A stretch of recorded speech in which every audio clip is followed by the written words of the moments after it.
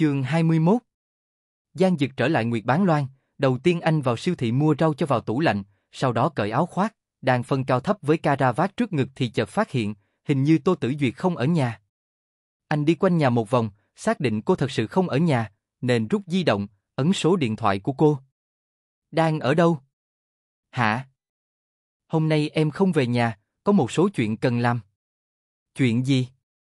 Không thể nói được, nhưng với em chuyện đó rất quan trọng, đừng lo lắng cho em, em sẽ tự chăm sóc tốt cho bản thân mình, cả con anh nữa. Cô chỉ nói mấy câu, liền cúp điện thoại. Anh nghe ra cô không muốn nhiều lời, cũng không quấy rầy nữa. Ban đầu anh muốn hỏi cô đang ở đâu, anh đang nấu cơm, khi về cô có thể ăn luôn không cần phải thúc giục. Anh cố gắng rất lâu mới cởi được caravat, anh vứt sang một bên, giờ không nói được cảm xúc trong lòng là gì, nghĩ tùy tiện kiếm chút gì lấp đầy bụng là được, ngay cả cơm cũng không định làm. Thời điểm anh học đại học, người ta thường nói trong nhà đàn ông không thích hợp ở một mình, chỉ một người ở, quá nữa là yêu nhau giết nhau với mì ăn liền, vẫn nên có người phụ nữ. Lúc ấy anh nghĩ đó là cái cớ, phòng ngủ có vài nam sinh viên cùng ở, hàng năm đều vui đùa với phụ nữ cũng cảm thấy bình thường, anh cũng đã nghe qua, hiện tại lại thấu hiểu sâu sắc. Trong nhà còn lại mình anh, trở nên trống trải. Lúc chia tay với Tô Tử Duyệt, anh không ở nơi này, mà lựa chọn về nhà. Khi ấy, anh nghĩ sẽ cô không ảnh hưởng lớn đến mình, nhưng thực chất vẫn có ảnh hưởng, anh cố ý tự xem nhẹ thôi, nếu không vì sao anh lại không muốn lẻ loi một mình ở nơi này. Dù vậy anh vẫn cho rằng, chia tay với cô, không ảnh hưởng chút nào tới anh. Giang Dực ngồi trên sofa một lúc lâu, rồi mới tìm thứ gì đó ăn. Ăn xong, hắn nghĩ lại biểu hiện của Tô Tử Duyệt khi gọi điện thoại cho cô lúc nãy, giọng nói cũng không có gì không ổn, nhưng anh vẫn có thể phát hiện, chắc hẳn cô gặp chuyện gì. Nghĩ vậy anh muốn gọi điện cho cô, đã định rút di động ra, sau khi ấn dãy số kia, ngón tay bất chợt ngừng lại. Hành động này, ít nhiều cũng khiến anh có chút không thoải mái, dường như muốn tìm hiểu, vì thế lại thôi. Buổi tối, chất lượng giấc ngủ anh cũng không quá tốt, nửa đêm tỉnh lại một lần. Anh cảm thấy mình như người ngủ thẳng tới bình minh mới dậy, dù sao trong khoảng thời gian gần đây nửa đêm anh lại tỉnh một lần, nhìn cô ngủ như thế nào, có đắp chăn không, có đôi khi còn giúp cô sửa lại tư thế ngủ cho đúng. Nhiều lúc, anh nhìn bụng của cô đến ngẩn ngơ. Cô gái này, tốt nhất trong lòng anh không xảy ra khả năng kia, nhưng nay anh không chỉ ở cùng một chỗ với cô, còn có đứa bé của anh và cô, cảm giác ấy rất kỳ diệu, giống như kiểu, càng lùi xa, lại càng tới gần, cuối cùng chỉ có thể dùng vận mệnh đã định trước để cảm nhận loại cảm giác này. Lúc này tỉnh lại, phát hiện trong phòng chỉ có một mình, cảm giác động lớn trống trải thật khó chịu. Anh đứng dậy, ra khỏi phòng, đứng ở bên ngoài ban công, châm một điếu thuốc, nhẹ nhàng hút.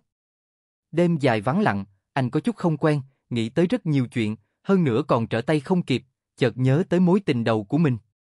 Hôm nay tinh thần của Giang Dực không tốt lắm, buổi sáng chỉ mở một cuộc họp và xử lý mấy tài liệu, lúc giữa trưa anh nhận được cuộc điện thoại của Giang Hữu Vi, để cho anh phải thay nhà họ Giang đi bệnh viện hỏi thăm sức khỏe của một vị trưởng bối có quan hệ với nhà mình. Anh tới bệnh viện, chào hỏi lễ phép lại khách sáo với vị trưởng bối kia xong, một lúc lâu mới xin phép về tòa nhà của khu nội trú đi ra. Cổng khu nội trú đối diện với một vườn hoa có quy mô không tính là lớn, có rất nhiều bệnh nhân là người già đang ngồi ở ghế dài, cùng trò chuyện với người nhà ở bên cạnh. Anh dừng bước, nhìn về phía vườn hoa. Anh dừng lại, Ngụy Bân đi sau anh cũng dừng chân, di chuyển tầm mắt sang phía ấy. Bên kia là một ông cụ đang ngồi ghế dài, bên cạnh là cô gái xinh đẹp đang nói chuyện cùng ông cụ, hình ảnh dịu dàng kỳ lạ, chính Giang Dực cũng không biết nên thể hiện thế nào mới tốt. Đó là chủ tịch Tô. Ngụy Bân tự cảm thấy mình hữu dụng nên giải thích với tổng giám đốc là lẽ đương nhiên. Ông Tô, Giang Dực đương nhiên biết, trong quá khứ xuất hiện rất nhiều lần, thậm chí trong một bữa tiệc ông Tô còn nói chuyện thật lâu với anh, thăm dò anh bằng mọi cách, nhưng anh nhanh chóng chuyển sang chủ đề khác. Đối với ông lão trên thương trường đã nhiều năm, Giang Dực luôn luôn kính nể và bội phục, tất nhiên đây là bí mật, đối mặt với lợi ích thì tự nhiên sẽ không quản tên họ của đối phương là gì. Ngụy Bân phát hiện tổng giám đốc nhà mình không vừa lòng với đáp án của mình, nên chỉ có thể âm thầm suy đoán ý nghĩ của anh.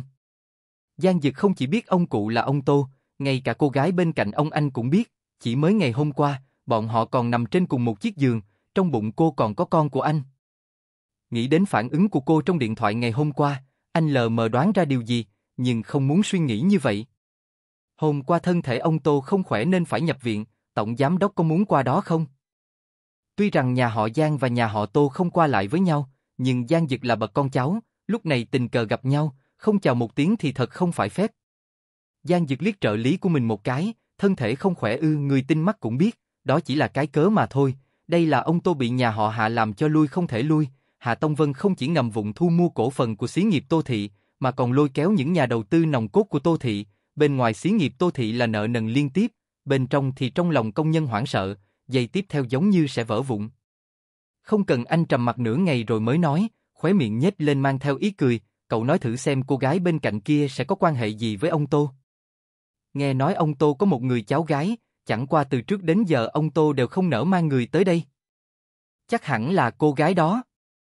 Giang Dực vừa liếc mắt qua bên kia một cái, xoay người rời đi. Lúc đầu không chỉ anh nghĩ như vậy, người khác cũng nghĩ như vậy, anh đi vài bước, rồi dừng lại, hẳn là. Ngụy Bân suy nghĩ một hồi lâu, mới khẳng định tổng giám đốc nói chuyện với mình, ở bên cạnh Giang Dực đã lâu, cũng có thể hiểu rõ hàm ý trong lời nói của anh, tôi sẽ thăm dò một chút quan hệ giữa vị tiểu thư kia với ông Tô. Giang Dực gật đầu, không nói được lời nào. Cho tới bây giờ anh không thích người lừa mình dối người, sự việc không khẳng định hoàn toàn thì tự nhiên có thể trì hoãn một lát, nhưng anh không muốn, nếu sớm muộn gì cũng phải đối mặt, cần gì phải kéo dài tình trạng đẩy lùi không thể rút lui. Tô Tử Duyệt Sao anh chưa bao giờ từng nghĩ cô có quan hệ với nhà họ Tô hay không chứ? Hơn nữa ở trước mặt anh cô chưa từng nhắc tới người nhà của cô, anh đang đưa ra ý kiến muốn đưa cô về nhà thì cô cũng chưa từng nói tới người nhà của mình. Anh tôn trọng quá khứ của cô, cũng không để câu trả lời này ở trong lòng, cô nói cho cô thời gian hai tháng để cân nhắc, vậy anh sẽ chờ hai tháng. Anh tựa vào ghế ngồi, dường như trái tim có chút mệt mỏi. Hiệu suất làm việc của Ngụy Bân luôn luôn không tồi, trước khi tan sở, đã mang tới trước mặt Giang Dực một ít tài liệu về Tô Tử Duyệt. Nội dung tài liệu không coi là nhiều, nhưng có thể hoàn toàn kết luận người ở bệnh viện cùng ông Tô đúng là cô cháu gái duy nhất của ông, Tô Tử Duyệt. Ông Tô trước mặt người ngoài thì nghiêm túc dập khuôn, nhưng lại yêu thương đứa cháu gái độc nhất này hơn nhiều, nhiều năm như vậy vẫn xem Tô Tử Duyệt như cục cưng bảo bối mà quan tâm, hơn nữa luôn mang tới một cuộc sống bình thường vì Tô Tử Duyệt, cũng không trói buộc cô về thân phận, bởi vậy không nhiều người biết Tô Tử Duyệt là cháu gái của ông Tô. Nếu không phải cố ý điều tra, người biết càng ít, mà dường như ông Tô cũng chưa bao giờ có ý nghĩ muốn đẩy Tô Tử Duyệt đến trước người khác, cũng không cho Tô Tử Duyệt can dự đến bất cứ chuyện gì trong công ty. Giang Dực chỉ nhìn lướt qua những tài liệu kia, sắc mặt cũng không tốt lắm. Ngụy Bân thấy anh không giao phó việc khác, xoay người ra khỏi văn phòng, thu dọn đồ đạc tan ca. Anh nghiêng người dựa vào trên ghế xoay, xoa mi tâm. Anh có phần không xác định, cô không nói tình hình trong nhà của cô, phải chăng đây là cố ý làm như vậy? Mục đích của hành động đó là gì? Cô thật sự không biết hoàn cảnh khó khăn hiện nay của nhà họ Tô, có lẽ không muốn bị dòng họ Tô này ảnh hưởng. Bình thường phụ nữ trong loại hoàn cảnh này, không phải nên vô tình nhắc tới người nhà của cô, khiến người đàn ông tự nguyện che gió che mưa cho cô, xử lý sạch những chuyện khiến cho cô phiền não sao? Cô đấy, cô là kiểu phụ nữ như thế nào? Mặc dù đã hết giờ làm, anh vẫn nán lại ở trong phòng làm việc, hơn nữa trong lòng vô cùng khó chịu. Anh nhắm mắt lại, suy nghĩ rất lâu, lại mở hai mắt thì sắc mặt đã trở lại bình tĩnh như trước. Anh lấy di động ra, bấm số của Tô Tử Duyệt. Em ở đâu, anh tới đón em. Tô Tử Duyệt lại nắm di động cười cười, mới không gặp một ngày mà thôi, hành động này của anh sẽ khiến em hiểu nhầm đấy. Anh không để ý chuyện em hiểu lầm. Em để ý. Cô dừng lại hai giây, khẽ than một tiếng, cố ý mở miệng, chúc mừng anh, tối hôm nay anh lại là người cô đơn. Anh nhíu mày, đối với kiểu làm nũng này của cô anh không tính toán, vì chuyện gì can tâm biến anh thành người cô đơn. Bản thân anh rất tò mò, muốn biết. Tô Tử Duyệt suy nghĩ, cảm thấy dường như mình nên nói chuyện tốt với Giang Dực, vì thế hùa theo lời của anh, làm gì có chuyện nào quan trọng hơn anh chứ. Được rồi, lúc nãy là lừa anh, em ở bệnh viện ít, anh tới đón em đi. Giang Dực cúp điện thoại, cầm lấy chìa khóa xe ra khỏi văn phòng.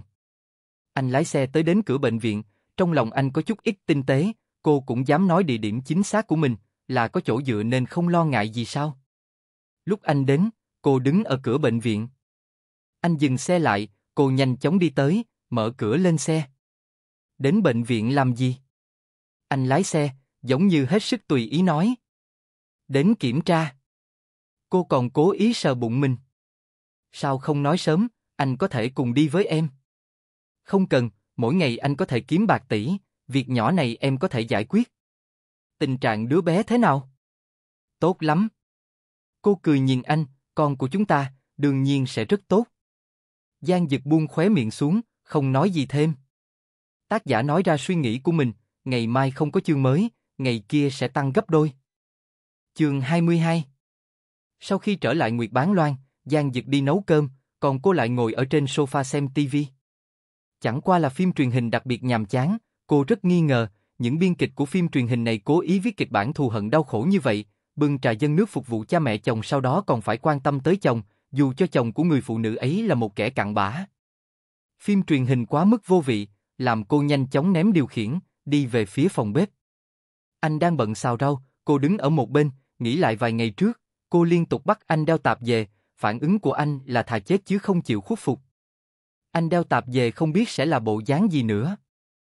Nói chung phong độ trên người anh có thể sẽ là ánh sáng thua cuộc chứ. Có làm mới có ăn, cô tự cảm thấy mình cần phải tự giác một chút, vì thế tiến lên, chuẩn bị bưng thức ăn. Thật là thơm. Giang Diệt cầm để đựng thức ăn ngon đặt vào trong tay cô, cẩn thận một chút, đừng để bị bỏng. Anh cảm thấy em sẽ ngốc như vậy. Cô bưng cái đĩa ra khỏi phòng bếp. Anh lắc đầu, tiếp tục xào món khác. Lúc ăn cơm, không khí trên bàn cơm cực kỳ tốt. Tô Tử Duyệt đặc biệt thích món canh trứng dưa chuột muối anh làm, canh ngon vô cùng, vậy mà cô xới cơm ba lần liên tiếp, mà ngay cả dưa chuột ngày thường không thích ăn, cũng cảm thấy ngon không gì sánh được. Giang Dực thấy cô ăn ngon, tâm tình cũng tốt hơn nhiều. Để thưởng cho vị đầu bếp nấu cơm hôm nay, Tô Tử Duyệt quyết định một lần chủ động rửa bát, hơn nữa ép anh không được giúp đỡ. Tuy rằng chỉ là chuyện nhỏ, Giang Dực vẫn đi theo sau cô, nhìn cô rửa từng cái bát một, lại lau khô nước trong bát, cuối cùng mới úp vào tủ bát. Cả đời này của Tô Tử Duyệt, món ăn có thể làm được ngon nhất thuộc về mì ăn liền.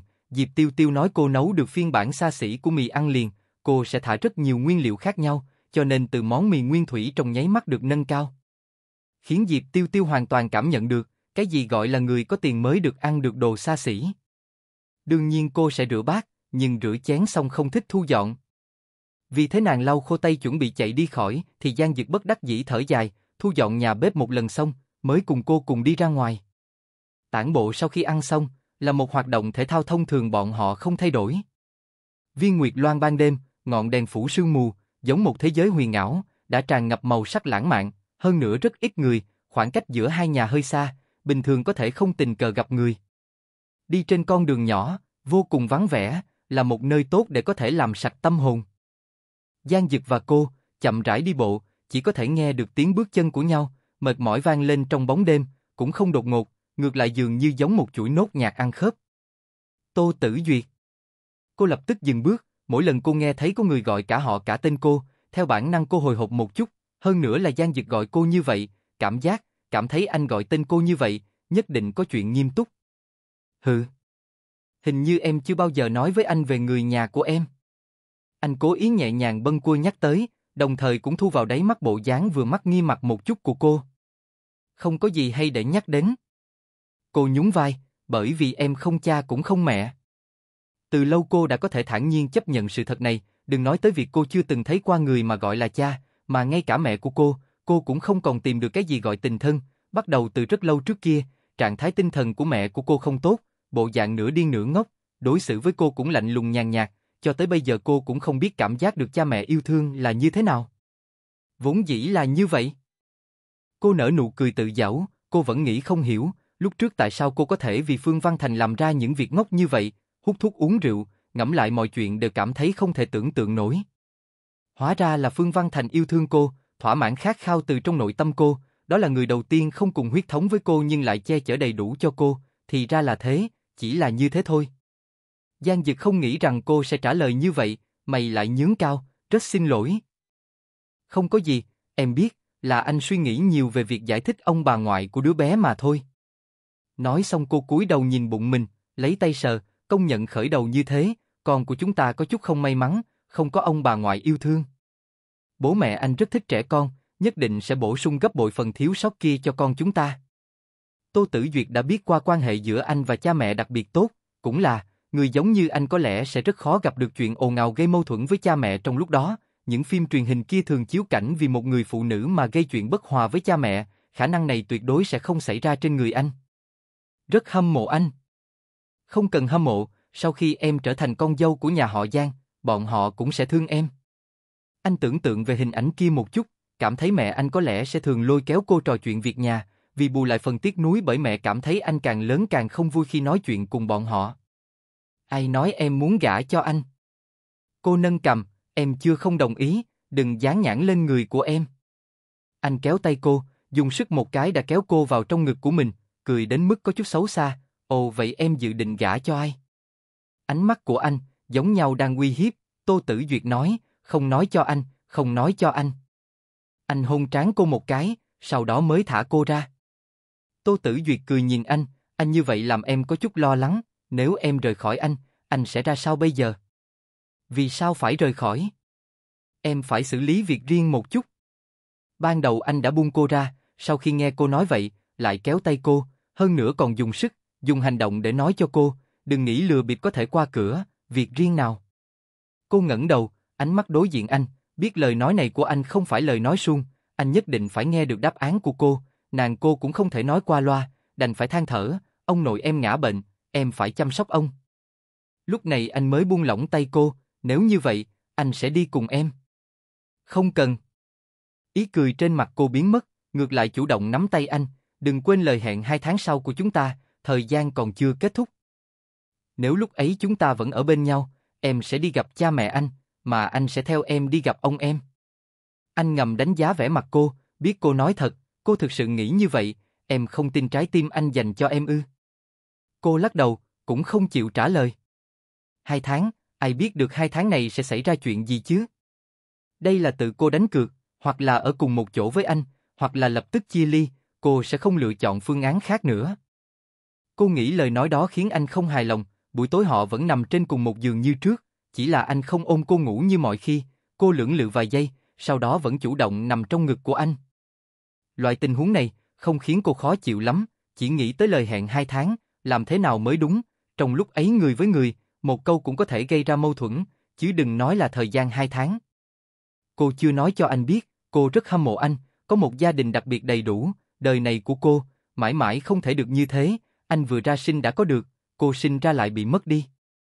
Ngày hôm sau, Tô Tử Duyệt tự giác khác thường, không đợi Giang Dực gọi cô rời giường, nhanh chóng ngủ dậy cùng anh, thời điểm cô làm như thế, mang theo suy nghĩ muốn lấy lòng.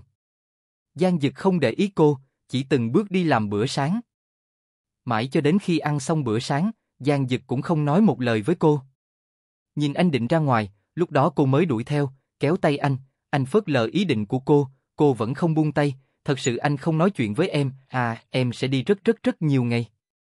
Cô mở to hai mắt nhìn anh, cho dù như thế, phần dịu dàng trên mặt cô đã lấn át cái đáng yêu. Giang Dực liếc nhìn cô một cái, muốn tách ra khỏi cái nắm tay của cô, cô lại càng nắm chặt hơn. Lúc này anh mới thở dài chua xót, tay còn lại ôm lấy đầu cô, ép chặt cô, hùng hăng hôn lên cô. Cái hôn này thật lâu và sâu lắng, khi kết thúc cả hai đều thở hổn hển, đừng khiến anh cô đơn quá lâu. Khi ấy cô mới nở nụ cười, nhìn theo anh đi ra khỏi nhà. Giang Dực xoay người thì khuôn mặt đã thay đổi, trở nên lạnh tanh. Sau tối hôm qua, chính hắn cũng tưởng đã rõ ràng rồi, anh quấn quyết như vậy, cũng không có tác dụng. Trong bụng cô, có đứa bé của anh, đây là chuyện thật không thể nghi ngờ, một khi đã như thế, điều anh nghi ngờ kia, tất nhiên không tồn tại. Nếu đã quyết định, như vậy cứ thế đi, không cần thiết phải lo lắng và khó chịu. Khi Giang Dực đi, vẻ mặt Tô Tử Duyệt cũng thay đổi đôi chút, bây giờ cô không quay mặt về phía anh, rất thoải mái, cô còn sợ anh sẽ tức giận. Cô ngồi ở sofa một lúc lâu, mới vươn tay, sờ môi mình. Thật sự cô không nghĩ, anh lại hôn mình. Lập tức, cô theo cái hôn kia khôi phục lại tâm trí. Ngày hôm qua ông nội khuyên cô về nghỉ ngơi, không cần trông ở trong bệnh viện, nhân cơ hội này, cô mới về đây. Nói trong điện thoại thì không tôn trọng nhau, cô phải tự nói cho Giang Dực, cô phải rời khỏi nhà vài ngày, bởi vì chăm sóc ông nội. Đợi lát nữa cô còn phải chạy nhanh tới bệnh viện, cô đoán, nếu hôm nay mình không tới bệnh viện, với tính cách của ông, nhất định đòi xuất viện ngay lập tức, ông nội chính là người như vậy. Bất kể người khác khuyên bảo ra sao, ông cũng chịu thua trước số phận, chỉ cần ông còn hơi thở, chắc chắn sẽ trở về công ty, tiếp tục chuyện phiền phức kia. Nhưng nàng không thể để kệ như vậy, trên thế giới này, có lẽ chỉ có cô mới khuyên bảo được ông lão cố chấp ấy. Cô thu dọn một chút, mới ra khỏi nhà. Trong một khoảng thời gian dài, cô rất ghét ông lão kia, nhất là sau khi biết nguyên nhân cha mẹ mình chết. Cô hận ông lão ấy quá cố chấp, nếu không phải ông, sao cô lại giống bây giờ, vừa sinh đã không có cha, sau đấy là người mẹ thần kinh không bình thường. Là ông nội cố chấp phạm sai lầm, nếu không phải ông ngoan cố ngăn cản Tô Mặc Xuyên và Hà Thiến Vân, Tô Mặc Xuyên sẽ không chết, Hà Thiến Vân sẽ không hận nhà họ Tô như vậy, đương nhiên sẽ không giữ lại Hà Ngữ Đình cám dỗ bạn trai cô.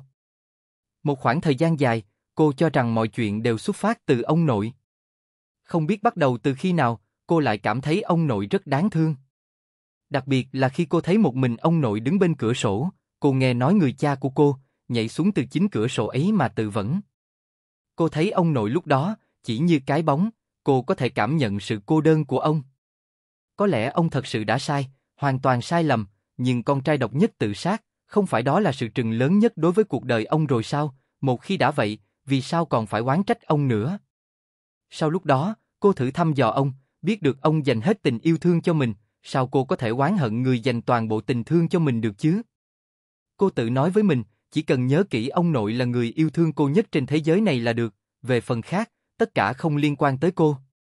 Chương 23 Tô Tử Duyệt hoàn toàn không đoán sai, cô vừa tới bệnh viện, liền nghe thấy Hướng Huy đang khuyên ông nội, ông yêu cầu xuất viện. Cô vẫn nghĩ ông nội đã đồng ý một lần vì cô. Cô đi vào trong phòng bệnh, ý bảo trợ lý hướng đi ra ngoài trước, bởi cô muốn nói chuyện với ông nội một chút.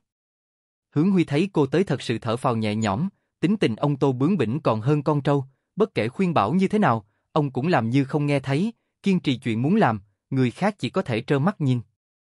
Chỉ là vị Tô tiểu thư này tuyệt đối là cái không ngờ trong những cái không ngờ. Ông nội nói chuyện không tính toán gì hết, rõ ràng đã đồng ý với con không tùy tiện xuất viện, bây giờ là đang làm gì? Cô mặt mày tươi cười, giống như đang nói đến một chuyện nhỏ, rất nhỏ mà thôi. Ông Tô thở dài, tình trạng bây giờ của công ty, ông không trở về trấn giữ thì sao có thể yên tâm. Tô Tử Duyệt biết rõ ông nghĩ đến cái gì nhưng cũng biết, coi như ông ông trở về, cũng không có bao nhiêu tác dụng, chỉ là bị nhân viên quá hốt hoảng làm cho phiền lòng thêm mà thôi, tình trạng bây giờ của ông không thích hợp xử lý những thứ đó. Tiểu Duyệt, hiện tại công ty. Ông nội. Tô Tử Duyệt cắt đứt lời của ông, ở trong lòng con, không có gì có thể quan trọng hơn thân thể của ông, cho dù một tay ông sáng lập ra công ty, cũng không quan trọng bằng thân thể của ông nội. Trước kia ông đã chuyển cổ phần công ty sang tên cô, có thể nói ông cố gắng cứu vãn công ty như vậy, cũng là vì cô, chỉ là nếu như đây là trả giá cao bằng sức khỏe của ông, cô có những thứ đó thì có ích lợi gì. Trên mặt ông Tô hiện ra vẻ đau thương, ông tung hoành nhiều năm trên thương trường như vậy, chưa bao giờ nghĩ tới có một ngày mình sẽ đối mặt với hoàn cảnh khó khăn như vậy. Ông tự nhận mình có kiến thức rộng rãi, cũng có nhiều kinh nghiệm vô cùng, nhưng vẫn bị những tên hậu bối kia gài bẫy, quả thật là ông già rồi, thế mà lại không bằng năm đó, ông cho rằng đây là đây là bọn trẻ con. Người khinh địch, nhất định phải trả giá đắt, cả ông cũng không phải là ngoại lệ. Cô ngồi bên giường, hai tay nắm tay ông, nhất định ông nội phải vì con mà chăm sóc thân thể cho tốt, về phần chuyện của công ty, giao cho trợ lý hướng xử lý đi, công việc của ông là phụ trách bồi dưỡng thân thể cho tốt, hơn nữa là giữ cho tâm tình vui vẻ.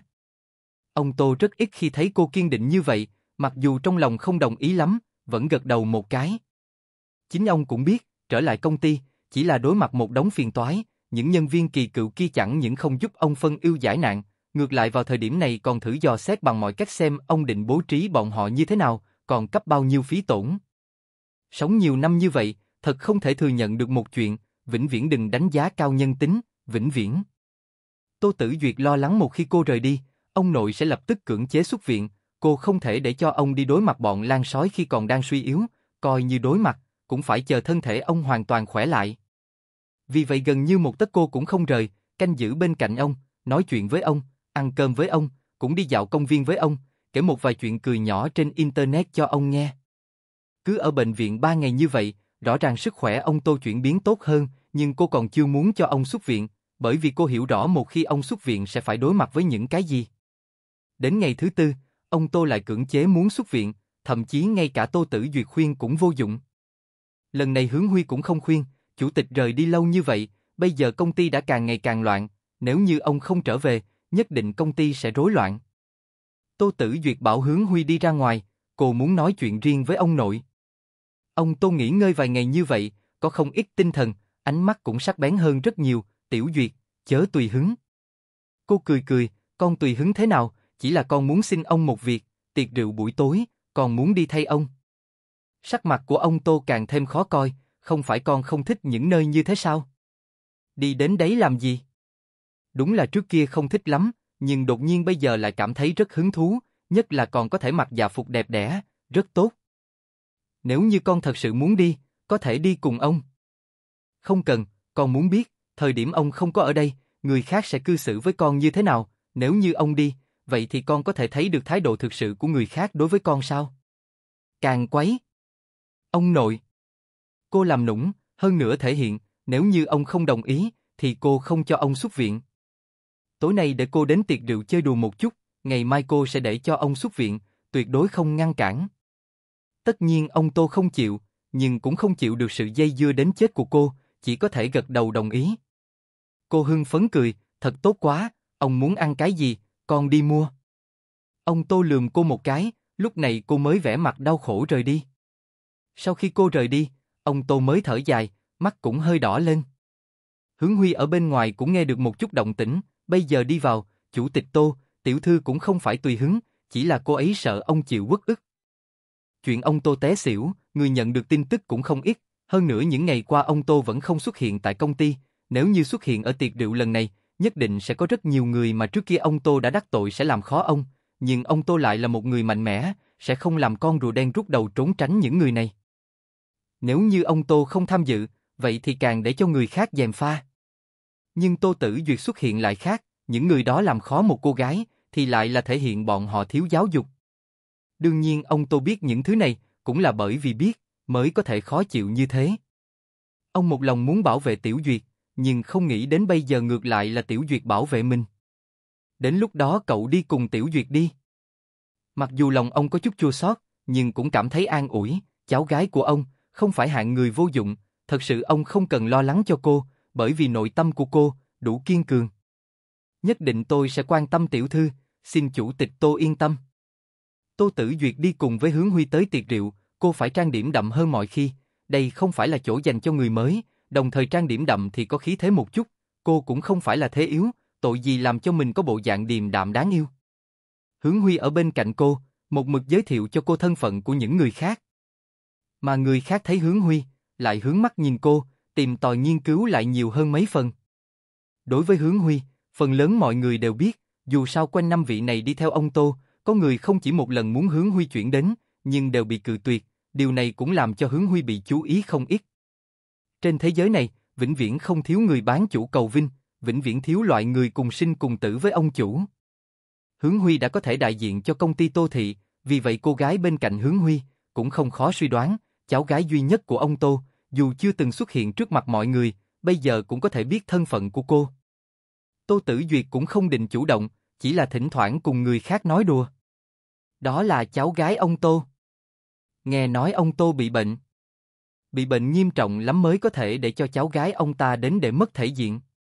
Đến đây để mất thể diện, đây rõ ràng là treo giá. Chiêu này của ông Tô không biết có thể thành công hay không, lão già kia, đến mánh khóe bán cháu gái cũng sử dụng. Ai biết được. Có lẽ thật sự bệnh cũng không nhẹ. Những lời này, âm thanh không cao không thấp, lại vừa vặn có thể để cho cô nghe thấy. Hướng Huy có chút lo lắng nhìn cô, cô lại cười cười, sau đó đi đến chỗ hai người đang nói chuyện kia, Hướng Huy vẫn nháy mắt với cô, để cô từ biệt rời đi. Rõ ràng đây là cố ý nói để kích thích cô, nếu như cô bị lừa, thật sự lý luận với người ta, sợ rằng ngày mai chính là chuyện cười của cô, người khác sẽ bôi nhọ cô các loại.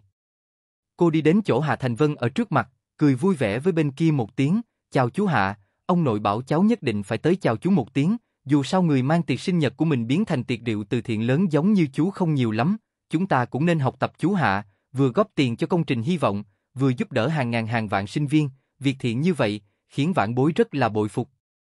Lúc Hà Thành Vân nghe được nửa câu đầu còn cười, đến nửa câu sau sắc mặt lại thay đổi.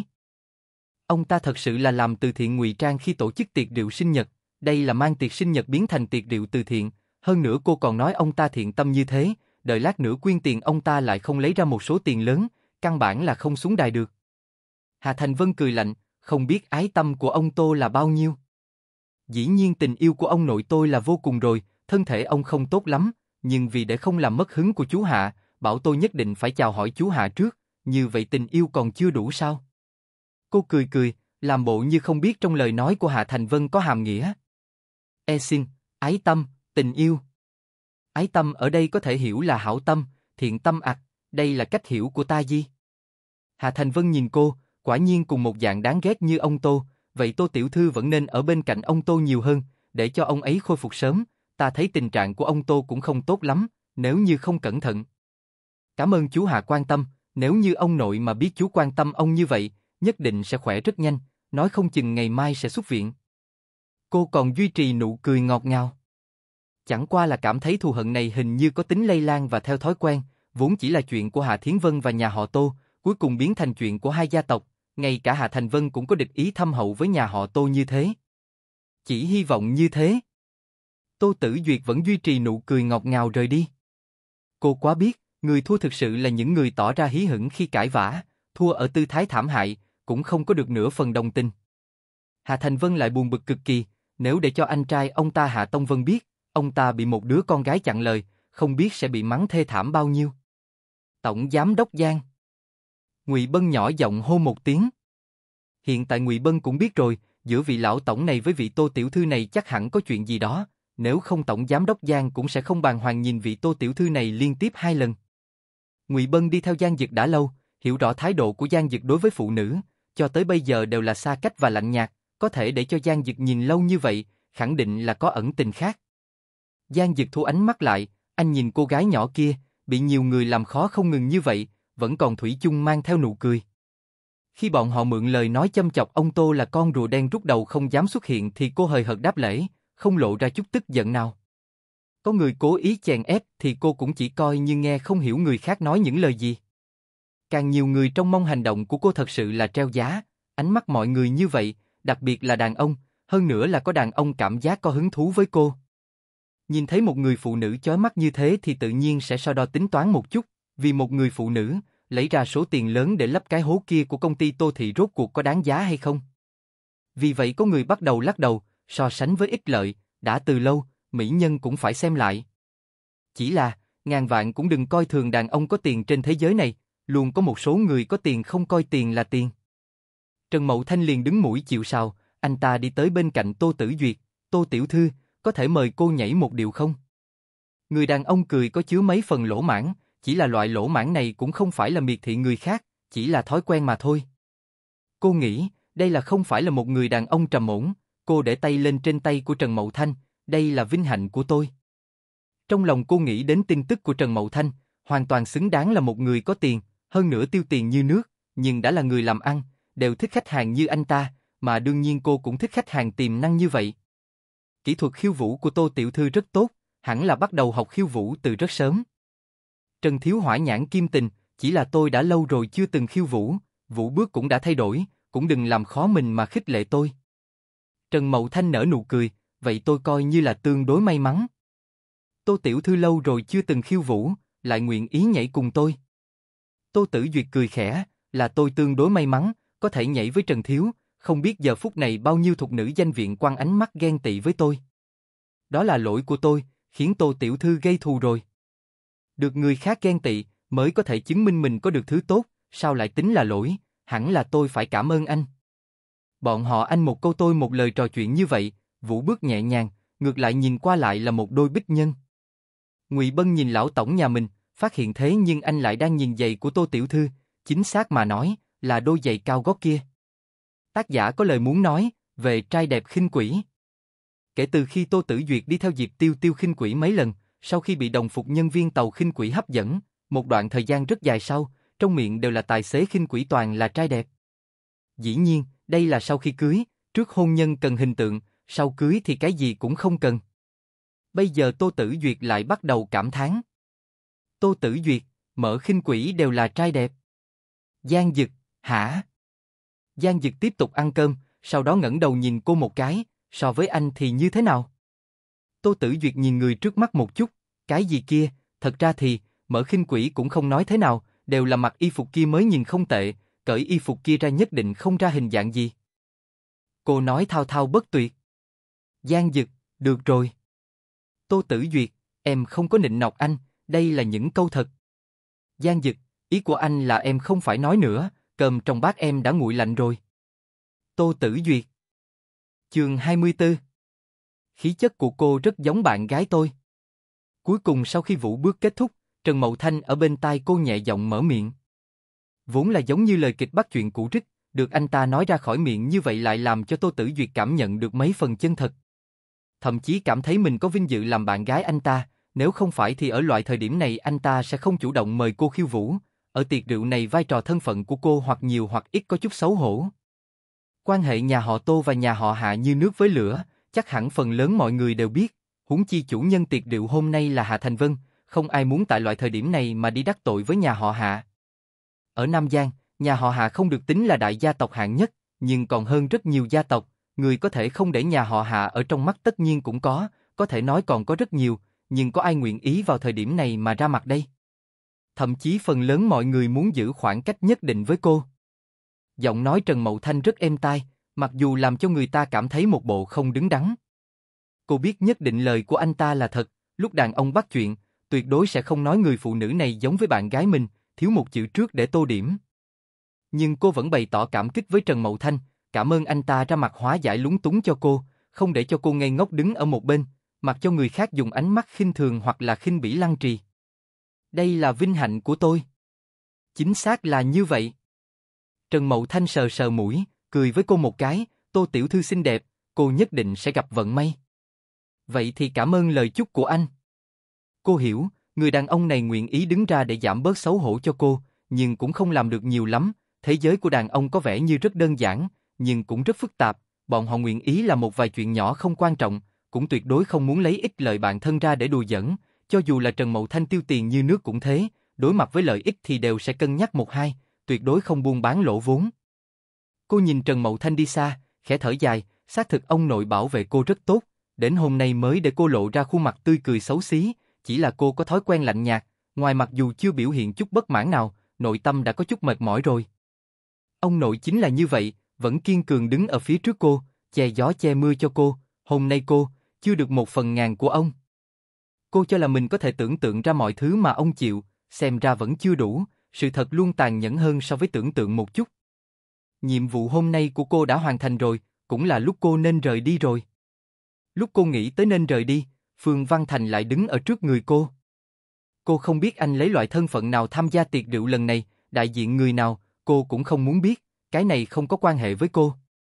Cô nhàn nhạt nhìn về phía người đàn ông trước mặt này, cười với anh, thật là trùng hợp, ở chỗ này cũng có thể gặp phải. Thực sự rất khéo. Ở bệnh viện có thể gặp được, ở chỗ này cũng có thể gặp, hơn nữa đều là không hề chuẩn bị điều kiện tiên quyết. Cô nhìn lướt qua anh, nụ cười càng đậm, bây giờ thăng chức ở đâu? Anh nói ra một cái tên, cô chưa từng nghe nói, nhưng hẳn là không tệ. Anh thấy cô lộ ra vẻ mặt nghi hoặc, tỉ mỉ giải thích cho cô một phen. Có thể mời em ăn cơm không? Tôi không đói. Vậy uống cà phê. Tôi không muốn buổi tối mất ngủ. Nụ cười của cô không thay đổi, Phương Văn Thành, anh lấy thân phận gì nói mấy lời này? Bạn học. Bạn bè. Ex boyfriend. Phương Văn Thành lộ ra mấy phần chua xót cười, anh biết, em vẫn còn trách anh, dù là năm đó em không tỏ vẻ gì. Có một số người chính là kiểu như thế, cô không biểu hiện ra tâm tình gì, cô đặt cảm xúc ở đáy lòng, đồng thời ăn sâu bén rễ, đối với việc đã từng tổn thương, tuyệt đối sẽ không liền sẹo thì quên người tạo ra vết thương, luôn luôn ghi nhớ. Phương Văn Thành, hôm nay có có hứng thú nhớ thuở xưa. Thực xin lỗi, cho tới bây giờ đối với tôi nhớ đến thuở xưa cũng không có hứng thú. Tiểu Duyệt, em đừng như vậy. Vậy tôi nên như thế nào, mời nói cho tôi biết, tôi sẽ cân nhắc xem có nên làm theo anh nghĩ hay không. Thái độ cô như vậy khiến Phương Văn Thành hoàn toàn không biết mình phải làm thế nào, cảm giác như thế quá xa lạ. Trước kia luôn là cô vây quanh anh, cùng với anh, lấy anh làm trọng, anh lại không biết, cô còn có một mặt như vậy. Anh không phải có ý đó, anh chỉ là bởi vì chúng ta coi như không ở cùng nhau, cũng có thể cư xử thản nhiên với đối phương. Không làm được người yêu thì làm bạn bè, những lời này không có trong từ điển của tôi. Chúng ta không thể nói chuyện giống như bạn bè cũ sao? Không thể. Cô gằn từng chữ một nói ra hai chữ này, đây chính là thái độ của cô, nếu như anh cảm thấy ấy nấy, muốn đền bù cái gì, căn bản là không cần, tôi cũng không có tổn thất gì, huống chi tôi cũng sống rất tốt. Nếu như không phải, thầm nghĩ muốn thỏa mãn anh cái gọi là người tình của gặp nhau nhất tiếu mẫn ân cừu, vậy thì thôi đi. Chúng ta căn bản không cần thiết phải gặp mặt, bởi vì tôi hoàn toàn không biết, phải nói cái gì với anh, tôi ghét phải tìm chuyện để nói, điểm này hẳn là anh biết rõ. Nhất tiếu mẫn ân cừu, cười một tiếng xóa hết oán thù. Lần này Phương Văn Thành thật không biết nên nói cái gì cho phải rồi. Anh cũng không biết, thì ra cô chính là đại tiểu thư nhà họ Tô, anh chỉ biết điều kiện gia đình cô rất không tệ. Nhưng cô cũng không cố ý thể hiện gia thế của cô, luôn là ăn với anh ít đồ ăn rẻ một chút, thậm chí biết anh kim chức vất vả, cũng không bắt anh mua quà. Những chi tiết này, đến mấy năm sau, anh hồi tưởng lại lần nữa, mới biết năm đó cô gái kia thật lòng đối đãi với mình như thế nào. Nếu như anh nói anh hối hận, có phải làm kiêu quá hay không? Hà ngữ đình ngã vào trong ngực anh, nói cô thích anh đến cỡ nào, vì anh cố gắng cỡ nào, nhìn cô nước mắt hoa lê đẫm mưa, thật sự anh động lòng rồi, loại cảm giác điềm đạm đáng yêu đó, lập tức liền đâm trúng anh. Hơn nữa khi đó, anh muốn đó là cô gái có thể khéo hiểu lòng người, cô gái như vậy mới có thể cùng anh đến cuối cùng. Vì vậy anh chủ động đưa ra lời chia tay, dĩ nhiên nguyên nhân có rất nhiều, nhưng khó có thể phủ nhận thực sự là anh động lòng với Hạ Ngữ Đinh. Anh lựa chọn quán cà phê bọn họ thường hẹn hò để chia tay với Tô Tử Duyệt. Anh đưa ra lời chia tay, anh suy đoán phản ứng của cô, suy nghĩ rất nhiều loại, cô sẽ mắng to anh, hoặc là trực tiếp cho anh một bạc tai, hoặc giả trực tiếp khóc thúc thích hỏi anh lý do.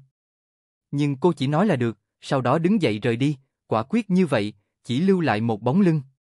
Anh chưa từng nói cho bất kỳ ai, nhìn bóng lưng cô rời đi thì sự bi thương của anh khó có thể tưởng tượng được, nước mắt lập tức tràn mi. Thì ra không phải là không yêu, mà là sâu tận xương tủy, không nhìn thấy, liền cho rằng không tồn tại. Đây là bí mật thuộc về một mình Phương Văn Thành. Mà hiện tại anh rất rõ ràng, thực sự Tô Tử Duyệt chỉ có thể là mối tình đầu của anh thôi, cô sẽ không cho anh cơ hội lần thứ hai. Người nói lời chia tay là anh, người canh cánh trong lòng lại là anh. Dương Tử Hân lôi kéo chồng mình cùng nghe trộm ở góc tường, sau khi nghe xong, cô phải nói, cô thật tâm thích người phụ nữ này, cô còn tưởng rằng mình có thể thấy một đôi người tình nhân của gặp nhau dây dưa chuyện xưa, phát hiện kết quả sai rồi, là chàng có ý mà thiếp vô tình. Cô thấy nhiều cô gái si tình, phát hiện thích nhất là loại cầm lên được cũng thả xuống được này, phụ nữ nên như vậy, kéo thấp trình độ trung bình của phụ nữ si tình, miễn cho bị khi dễ. Sau đó Dương Tử Hân phát hiện, cô gái này còn là một mỹ nhân, hơn nữa còn là kiểu mỹ nhân phù hợp thẩm mỹ đại chúng. Lăng Diệt Cảnh kéo vợ mình liên tục mấy lần, phát hiện cô không có phản ứng gì, cứ ở góc tường nghe người ta như vậy, thật sự được sao? Sau khi đôi kia rời đi, tự Dương Tử Hân cũng cảm thấy có chút ngượng ngùng, nhìn thấy mỹ nữ vừa rồi không? Cô không nói chuyện nhảm. Nhưng khẳng định không có chăm chú như em. Dương Tử Hân lấy tay nhéo hông anh, mỹ nữ kia có chút dối trá, mang theo một tấm mặt nạ tự như. Lăng Diệt Cảnh khẽ lắc đầu, ở chỗ này, ai mà không như vậy chứ? Thực ra Dương Tử Hân muốn nói là, vị mỹ nữ kia đặc biệt nhất ở chỗ này à, cười dối trá như vậy, nhưng mà một chút cũng không làm người ta ghét, phụ nữ như vậy mới thật sự là lợi hại. Cô cảm thấy mỹ nữ kia dù là giả khóc, cho dù cô là đàn ông, cho dù biết rõ mỹ nữ đang làm bộ, cũng không chán ghét, loại phụ nữ này thật sự là làm cho người ta. Ừm, là không ghét nổi. Nhưng tại sao cô có thể ở trước mặt chồng mình khen người phụ nữ khác chứ? Vì vậy nữ nhân dối trá kia, nhất định là dối trá. Sau khi Dương Tử Hân theo Lăng Diệt Cảnh dạo một vòng ở đại sảnh, cảm thấy quá nhàm chán, anh tiếp tục nói chuyện làm ăn với người khác đi, em đi tìm anh trai em. Đã lâu không gặp anh ấy rồi. Lăng Diệt Cảnh dặn dò cô mấy câu thì để cho cô đi. Đối với cô nói chuyện làm ăn giống như niệm kinh. Dương Tử Hân thật thật lâu không nhìn thấy anh trai của mình rồi, vì vậy hưng phấn chạy tới, nếu như không phải là người ở đây quá nhiều, có lẽ cô sẽ giống như khi còn bé vậy, lấy tay che mắt của anh, đang suy nghĩ gì. Ngay cả em tới cũng không biết. Giang Dực liếc nhìn em gái mình, có chút nhức đầu, diệt cảnh đâu. Sao em không đi theo cậu ấy? Không sợ cậu ấy bị mỹ nữ lừa mất. Mới không đâu, anh ấy là có lòng trách nhiệm của người đàn ông tốt, tuyệt đối sẽ không bị người khác câu đi. Đúng vậy, em tin tưởng cậu ấy như thế. Người nói muốn thời thời khắc khắc canh giữ ở bên cạnh chồng mình phòng ngừa anh ta bị mỹ nữ khác bắt cóc không phải là em. Dương Tử Hân buồn bực, hừ, lời này khẳng định không phải là em nói. Anh chưa nói gì là em nói. Giang Dực kéo khóe miệng, chỉ là nụ cười rất nhạt. Cô vẫn có thể nhìn ra cảm xúc của anh trai mình không tốt lắm, anh, tâm tình anh không tốt. Không có. Còn nói không có, cảm giác anh đặc biệt không yên lòng. Cô suy nghĩ một chút, không thể nào, chẳng lẽ anh lại cãi nhau với bạn gái của anh? Giang Dực liếc mắt nhìn cô một cái, quả thật liền mặc kệ cô, lại nói nhảm, bảo Lăng Diệt Cảnh tới thu người. Em liền không được anh chào đón như vậy. Lúc này Dương Tử Hân mới nhớ tới mục đích mình tới đây, mới vừa rồi anh nhìn vị mỹ nữ kia à, em cũng đang nhìn, đích xác là rất xinh đẹp, anh thích kiểu này. Giang Dực đứng dậy, hình như không muốn nói với cô em gái này của mình hơn một câu. Dương Tử Hân cũng bất giác đi theo phía sau anh, có phải hay không, anh nói một câu đi. Anh vẫn không để ý tới cô. Dương Tử Hân lại lầm bầm lầu bầu, hình như trong nhà vị mỹ nữ kia có khó khăn. Anh, nếu như anh thật sự cảm thấy hứng thú với người ta, nắm lấy cơ hội này, cứu cô ấy ở trong nước sôi lửa bỏng, cô ấy sẽ lấy thân báo đáp anh ngay. Giang Dực hoàn toàn coi khinh lời của cô, anh bây giờ rời đi, em đi theo anh hay là chờ đi cùng diệt cảnh? Chờ anh ấy. Ừ, anh gật đầu một cái, xoay người rời đi. Anh biết, ném cho cô loại lựa chọn này, cô sẽ không chút do dự lựa chọn chồng. Dương Tử Hân nhìn bóng lưng anh mình, hậu tri hậu giác nghĩ, mới vừa rồi vị mỹ nữ kia, hình như cũng là rời đi từ bên này. Tác giả có lời muốn nói. Trần Mậu Thanh, có thể để cho ta làm gã nam phụ sao? Ta muốn nhiều màn hơn mấy lần. Lục lục, nam phụ của ta đều không có kết quả tốt. Trần Mậu Thanh, có thể nhiều màn hơn là được. Lục lục, nam nữ chính, ý của các ngươi là. Tô Tử Duyệt, thế nhưng không cần phải vì ta mới muốn làm nam phụ, không hợp cách. Giang Dực, không sao cả dù sao cũng giành không thắng ta. Lục lục. Trần Mậu Thanh đang si si ngốc ngốc nhìn ta. Lục lục, vậy ta suy nghĩ một chút. Chương 25 Tô Tử Duyệt đi theo hướng Huy tới bãi đổ xe, dọc đường tự như hướng Huy đang quan sát cô, cô cũng coi như không thấy, chẳng qua cô không muốn người khác coi thường ông nội, hiện tại người của nhà họ Hạ dám bắt nạt ông, không phải bởi vì không lâu nữa ông nội không có người nối nghiệp, nếu ông có nhiều con cháu hơn, một khi đã thấy chuyện sẽ khác.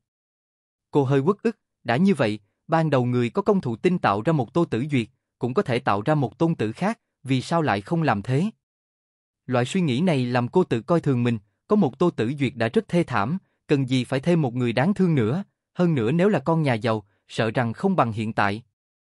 Cô đang chuẩn bị lên xe, lại bị kéo tay, kéo sang bên cạnh xe. Cô mở to mắt thì nhìn thấy vẻ mặt lạnh lùng của Giang Dực, trái tim thắt chặt lại, cũng không quá căng thẳng. Lúc trước cô tới nơi này, đã thấy người giống anh, cô không biết nên trả lời anh thế nào, chuyện đã xảy ra, cũng không cần suy nghĩ quá nhiều. Thấy vậy hướng Huy lập tức bước từ trên xe xuống, đi đến trước mặt bọn họ. Đương nhiên hướng Huy nhận ra Giang Dực, nhìn tình huống trước mặt, nhanh chóng hiểu rõ, xem ra trong lúc tiểu thư và Giang Dực dường như. Không chờ hướng Huy mở miệng, Tô Tử Duyệt cười với hướng Huy, anh đi trước đi, tôi không sao. Cô thấy hướng Huy còn chút do dự, lại bình tĩnh mở miệng nói, không được nói với ông tôi, cũng không cần nói. Hướng Huy hiểu ý, chỉ nhìn về phía Giang Dực với suy nghĩ sâu xa, trong lòng đang tính toán, lấy tính tình của Giang Dực, chắc hẳn sẽ không gây khó dễ với một cô gái, hơn nữa Giang Dực luôn được đánh giá cao, với suy nghĩ như thế, Hướng Huy thả lỏng. Hướng Huy lại lên xe, lái xe đi, anh ấy nhìn hai người từ gương xe, khẳng định quan hệ của hai người kia không bình thường, nếu tiểu thư có thể ở cùng một chỗ với Giang Dực. Như vậy sản nghiệp nhà họ Tô không phải không có cơ hội. Tay Giang Dực còn đang kéo tay cô, cô khẽ nhíu mày, có thể buông tay chưa? Anh không những không buông tay cô, ngược lại càng kéo chặt hơn, kéo tay nàng tới bên cạnh xe của anh, không để ý có khó chịu hay không, trực tiếp đẩy mạnh cô vào trong xe. Cô chưa kịp nói tiếng nào với anh thì anh lập tức tháo giày cao gót cô đang đi ra, sức rất mạnh, khiến chân cô bị đau, sau đó anh vứt đôi giày của cô đi. Anh tức giận, dù cô ngốc cũng biết, nhìn khuôn mặt bất ổn của anh, cô chỉ có thể chậm rãi giải thích, đôi giày kia để phù hợp với bộ lễ phục dạ hội. Đàn ông có lẽ không biết, một đôi giày kết hợp cùng lễ phục là điều rất quan trọng, thiếu giày cao gót này, hôm nay không biết sắc đẹp của cô sẽ bị tụt dốc thế nào, thỉnh thoảng đi một lần sẽ không. Tô Tử Duyệt Anh gọi lớn tiếng tên cô, hình như thật sự tức giận, em làm việc này có nghĩ đến cảm nhận của người khác hay không? Biết rõ mình mang thai, còn tự mình xuất hiện ở trường hợp này, để người khác tùy ý. Cô cắn môi dưới, cô không biết mình đến nơi này sẽ xảy ra chuyện gì. Cô dũng cảm, cũng là bảo vệ người nhà của mình, cô vứt anh ở nơi nào, chẳng lẽ anh chỉ là người ngoài, cô lại che giấu thân phận mình, là muốn anh khoanh tay đứng nhìn hay sao? Hơn nữa còn cố ý lừa anh về tình hình nhà cô, cho dù anh chủ động hỏi, cô vẫn dùng thái độ né tránh như trước. Cô ngồi vào vị trí, không để ý phần chân đang đau, mang theo thái độ dịu dàng nói, em. Rất xin lỗi, là em không suy nghĩ chu đáo. Cô cúi đầu, dáng vẻ nghe lời, làm anh không biết nên tiếp tục trút hết bất mãn thế nào. Anh đóng cửa xe, đi sang bên kia, mở cửa xe ngồi vào vị trí lái xe.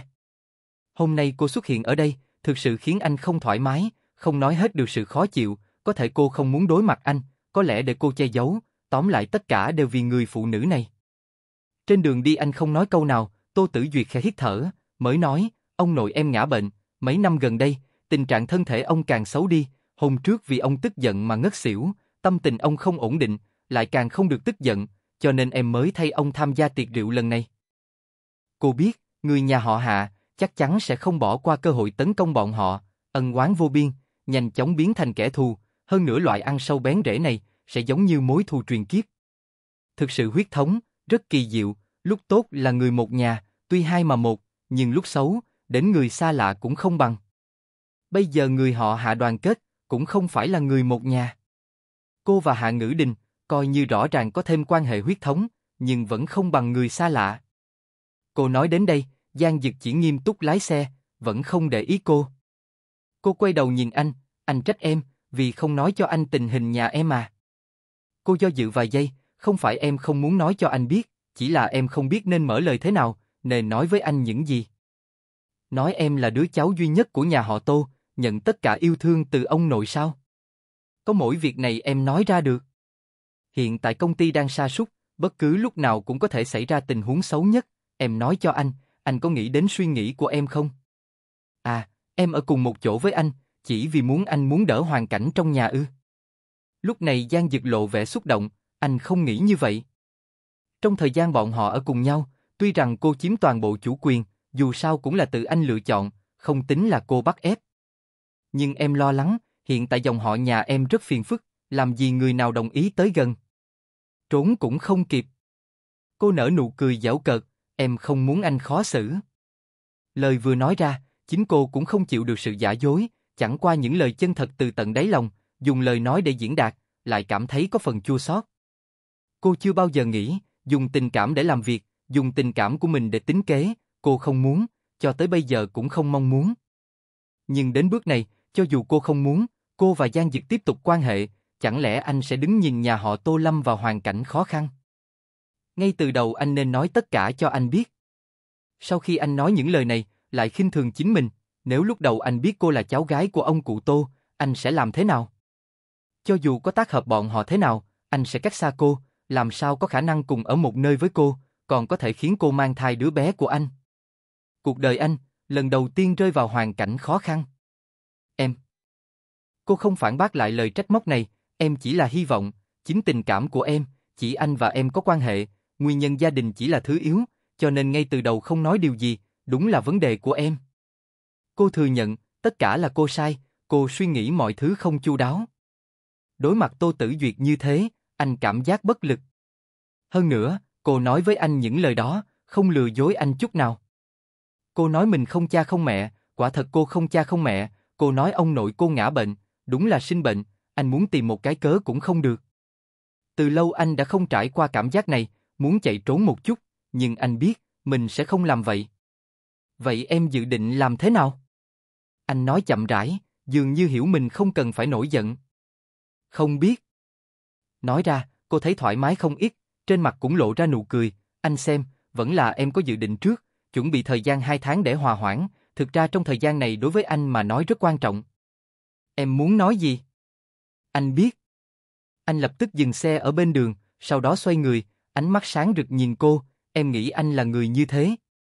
Em chỉ dựa vào nội tâm của một người bình thường mà suy đoán thôi. Cô nhìn thẳng vào đôi mắt anh, nếu không tại sao anh lại tức giận thế?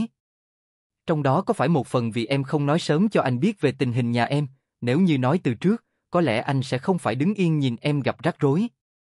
Nhưng, điều em muốn nhấn mạnh ở đây là quan hệ giữa hai chúng ta, nhưng điều đó có thể không, nói vậy thì ai sẽ tin, hai người thực sự chỉ ở cùng một chỗ, nhất định sẽ liên quan tới hai gia đình. Giang Dực, em thừa nhận em không muốn rời xa anh, nhưng biết rõ em vẫn dám nói ra. Em biết, anh tuyệt đối không thể chủ động nói lời chia tay, việc này không thích hợp với người được học hành nhiều năm như anh, sau khi làm em mang thai, trói buộc anh không phải tình cảm, chỉ là ý thức trách nhiệm và đạo đức của anh, em không biết em đang nói gì. Chẳng qua nếu anh hối hận, anh hãy công khai nói cho em biết, em sẽ không trách anh. Cô sờ bụng mình, đứa bé còn nhỏ, bên trong chảy dòng máu của anh, anh sẽ đau đớn như thế nào? Trong lòng cô, có rất nhiều điều quan trọng, ví dụ như ông nội cô khỏe mạnh, ví dụ như tự ái của cô, cũng có nhiều điều không quan trọng, vì chuyện của công ty, cô cầu xin người khác, cô không làm được. Cô biết, cô đủ thông minh như trong lời nói, hiện tại nên lấy lòng anh, mà không phải nói ra những lời như thế. Tô Tử Duyệt, anh cho em biết, trước kia anh không nghĩ như vậy, về sau cũng sẽ không nghĩ như vậy. Em yên ổn sinh đứa bé cho anh là được, về phần khác, không cần em quan tâm. Anh hít một hơi dài, cái mà em gọi là thời gian hai tháng, nghĩ rằng đó là thời gian hòa hoãn, thực chất tự em cho mình một đường lui, so với người khác em hiểu rõ nhất. Cơ thể anh nhanh chóng cứng đờ. Anh lại nhìn sang bụng cô, một lúc sau, đặt tay lên bụng cô, về sau đừng nói thế nữa, đứa bé nghe được sẽ đau lòng. Nếu đứa bé biết, cha mẹ nó đôi lúc không nghĩ tới cảm nhận của nó, nó sẽ buồn đúng không? Vì lời này mà cơ thể cô rung lên, cô nhanh chóng quay đầu lại, che đi hốc mắt ửng đỏ của mình, với ý nghĩ sâu trong nội tâm kia cô lau nước mắt lại càng thể hiện sự ghen tuông. Lần nói chuyện này, dường như khiến tinh thần hai người thêm mệt mỏi, sau đó họ không nói với nhau một lời, trở lại Nguyệt Bán Loan, cơn buồn ngủ nhanh chóng tới. Chẳng qua Tô Tử Duyệt vẫn chưa ngủ, nhiều năm như thế, nội tâm cô vẫn luôn không cam lòng, còn để ý rất nhiều chuyện. Trên thế giới này hình như còn rất nhiều điều bất công, khắp nơi đều bất công, cả chuyện tình cảm cũng vậy. Có vô số phụ nữ muốn chứng minh một điều, tình nguyện bỏ đi tất cả, chỉ đổi lấy thất vọng. Thật sự cô không hiểu, vì sao phụ nữ hy sinh tình cảm, vẫn thua kém những người phụ nữ chỉ coi tình cảm là gia vị. Vì vậy sau đó, cô lặng lẽ nói với bản thân, phải là một người không coi trọng tình yêu, là một người phụ nữ không rung động. Cô thích nhất nhân vật nữ chính trong hai bộ tiểu thuyết kia, cuối cùng mong muốn một cuộc sống hạnh phúc như bình thường, tác giả đưa ra định nghĩa bỏ ra, chính là không hy sinh tấm lòng mình. Vậy nên, cô cũng muốn là một người phụ nữ như vậy, không dễ dàng bị tổn thương. Nhưng cô lại không phải là học sinh tốt, không học được tinh hoa, cô chỉ có thể làm được vẻ ngoài lạnh nhạt, nhưng không có cách nào khiến nội tâm cũng lạnh nhạt theo. Tác giả nói ra suy nghĩ của mình. Hướng Huy, hình như người này đến để ăn cướp. Tô Tử Duyệt, cướp tiền hay cướp sắt? Hướng Huy, cướp sắt. Tô Tử Duyệt lập tức vui mừng đứng lên, điều đó chứng minh tôi rất có sức hấp dẫn. Hướng Huy Chương 26 Những ngày qua Tô Tử Duyệt luôn ở nhà của Diệp Tiêu Tiêu, tình trạng của cô và Giang Dực như thế, không thích hợp ở chung một chỗ, khi ở chung một chỗ, mỗi một ánh mắt nhìn đối phương đều mang ý nghĩa khác, hoặc cuối cùng chỉ là trầm mặc. Ông cụ Tô đã xuất viện từ lâu, hơn nữa mấy ngày nay vẫn bận rộn vì chuyện công ty, không rảnh để quan tâm cô. Ngược lại hướng Huy gọi điện tới cho cô, ngầm báo với cô tình hình hiện tại của công ty có chuyển biến tốt, lúc này ông cụ Tô mới yên tâm, dù sao ông cụ Tô là một người không dễ nhận thua, khi biết công ty còn có cơ hội giữ lại, sẽ không tiếc bất cứ giá nào để cố gắng đạt được. Trong quá khứ hướng Huy sẽ không nói cho cô biết những chuyện này, cô cũng hiểu, đây là hướng Huy đang nói cho cô biết, công ty có bước ngoặt lớn, không phải ngẫu nhiên, mà nguyên nhân bởi vì Giang Dực. Cô không biết Giang Dực làm gì, cũng không muốn biết. Công ty có chuyển biến, cô không nói được mình nên vui hay nên buồn. Lúc ăn cơm tối, Tô Tử Duyệt ghét bỏ món ăn do Diệp Tiêu Tiêu làm vì không có vị, khiến Diệp Tiêu Tiêu nổi giận, cậu ăn không của người ta mà còn đòi soi mói. Tớ bới móc vì muốn cậu tiến bộ, sao cậu không biết điều như vậy? Tô Tử Duyệt không tự giác nhắc nhở bạn mình. Diệp Tiêu Tiêu trợn mắt phẫn nộ, hung hăng lấp đầy cơm trong miệng, sau đó mới trút tức giận ra, gần đây khẩu vị của cậu nặng, chỉ thiếu mức không cay không vui. Vừa nói cô ấy vừa nhìn bụng Tô Tử Duyệt, chua nam cây nữ, trong bụng cậu chắc là con gái. Tô Tử Duyệt không vui, ít nói vớ vẩn. Ồ, không phải trước kia cậu cho rằng sinh con gái tốt hơn con trai hay sao? Có thể đối xử với con gái như búp bê, nói con gái là áo bông nhỏ của mẹ, còn con trai thì không phải. Điều này không thể ép buộc, trai gái đều được, tớ đều chấp nhận. Diệp Tiêu Tiêu nhìn cô một lát, hai, đúng là bị vị kia nhà cậu đồng hóa à lúc trước cậu nghĩ như vậy. Trước kia là trước kia, bây giờ là bây giờ. Đang tốt đẹp cậu nói sang người khác làm gì? Cứng đầu, lúc này các cậu đang trong thời kỳ chiến tranh lạnh. Ai chiến tranh lạnh? Không chiến tranh, vậy cậu chạy sang nhà tớ làm gì? Nhà mình là trại tị nạn Nga. Diệp tiêu tiêu, chỉ có tớ mới thương hại một người cô đơn và khó chịu như cậu mà thôi, không cảm ơn tớ thì thôi, đúng là không thể làm chỗ dựa cho tớ. tớ cảm thấy cậu một thân một mình lâu quá rồi, sợ cậu vắng vẻ khó nhịn. Tô Tử Duyệt. Cậu đánh, cậu đánh, cậu đánh tớ thử xem. Diệp Tiêu Tiêu không muốn đánh cô, mà muốn xé cô ra. Vào ngày Chủ nhật, khi Diệp Tiêu Tiêu cùng đi bộ với Tô Tử Duyệt, Giang Dực lái xe tới đón Tô Tử Duyệt. Diệp Tiêu Tiêu thấy xe của Giang Dực, ghé vào bên người Tô Tử khẽ nói với âm thanh dễ nghe, cuối cùng cũng thấy người đẹp trai giàu có chân thực trong truyền thuyết, có phải vai nam chính trong tiểu thuyết mới đi chiếc xe sang trọng. Tô Tử Duyệt cười như không cười, tớ còn phải đóng vai nhân vật nữ chính trong tiểu thuyết đây, sao không thấy cậu tán tỉnh tớ? Tớ không có hứng thú với phụ nữ. Trong lúc bọn họ nói chuyện, Giang Dực đã xuống xe, hơn nữa còn đi tới cạnh hai cô. Anh đứng bên cạnh Tô Tử Duyệt gật đầu với Diệp Tiêu Tiêu một cái, Diệp Tiêu Tiêu cũng quan sát anh, không thể không nói, tiền bạc và gia thế chỉ là vẻ ngoài của đàn ông, khí chất trên người mới là thứ đàn ông không có, cô phải khen ngợi ánh mắt của bạn mình.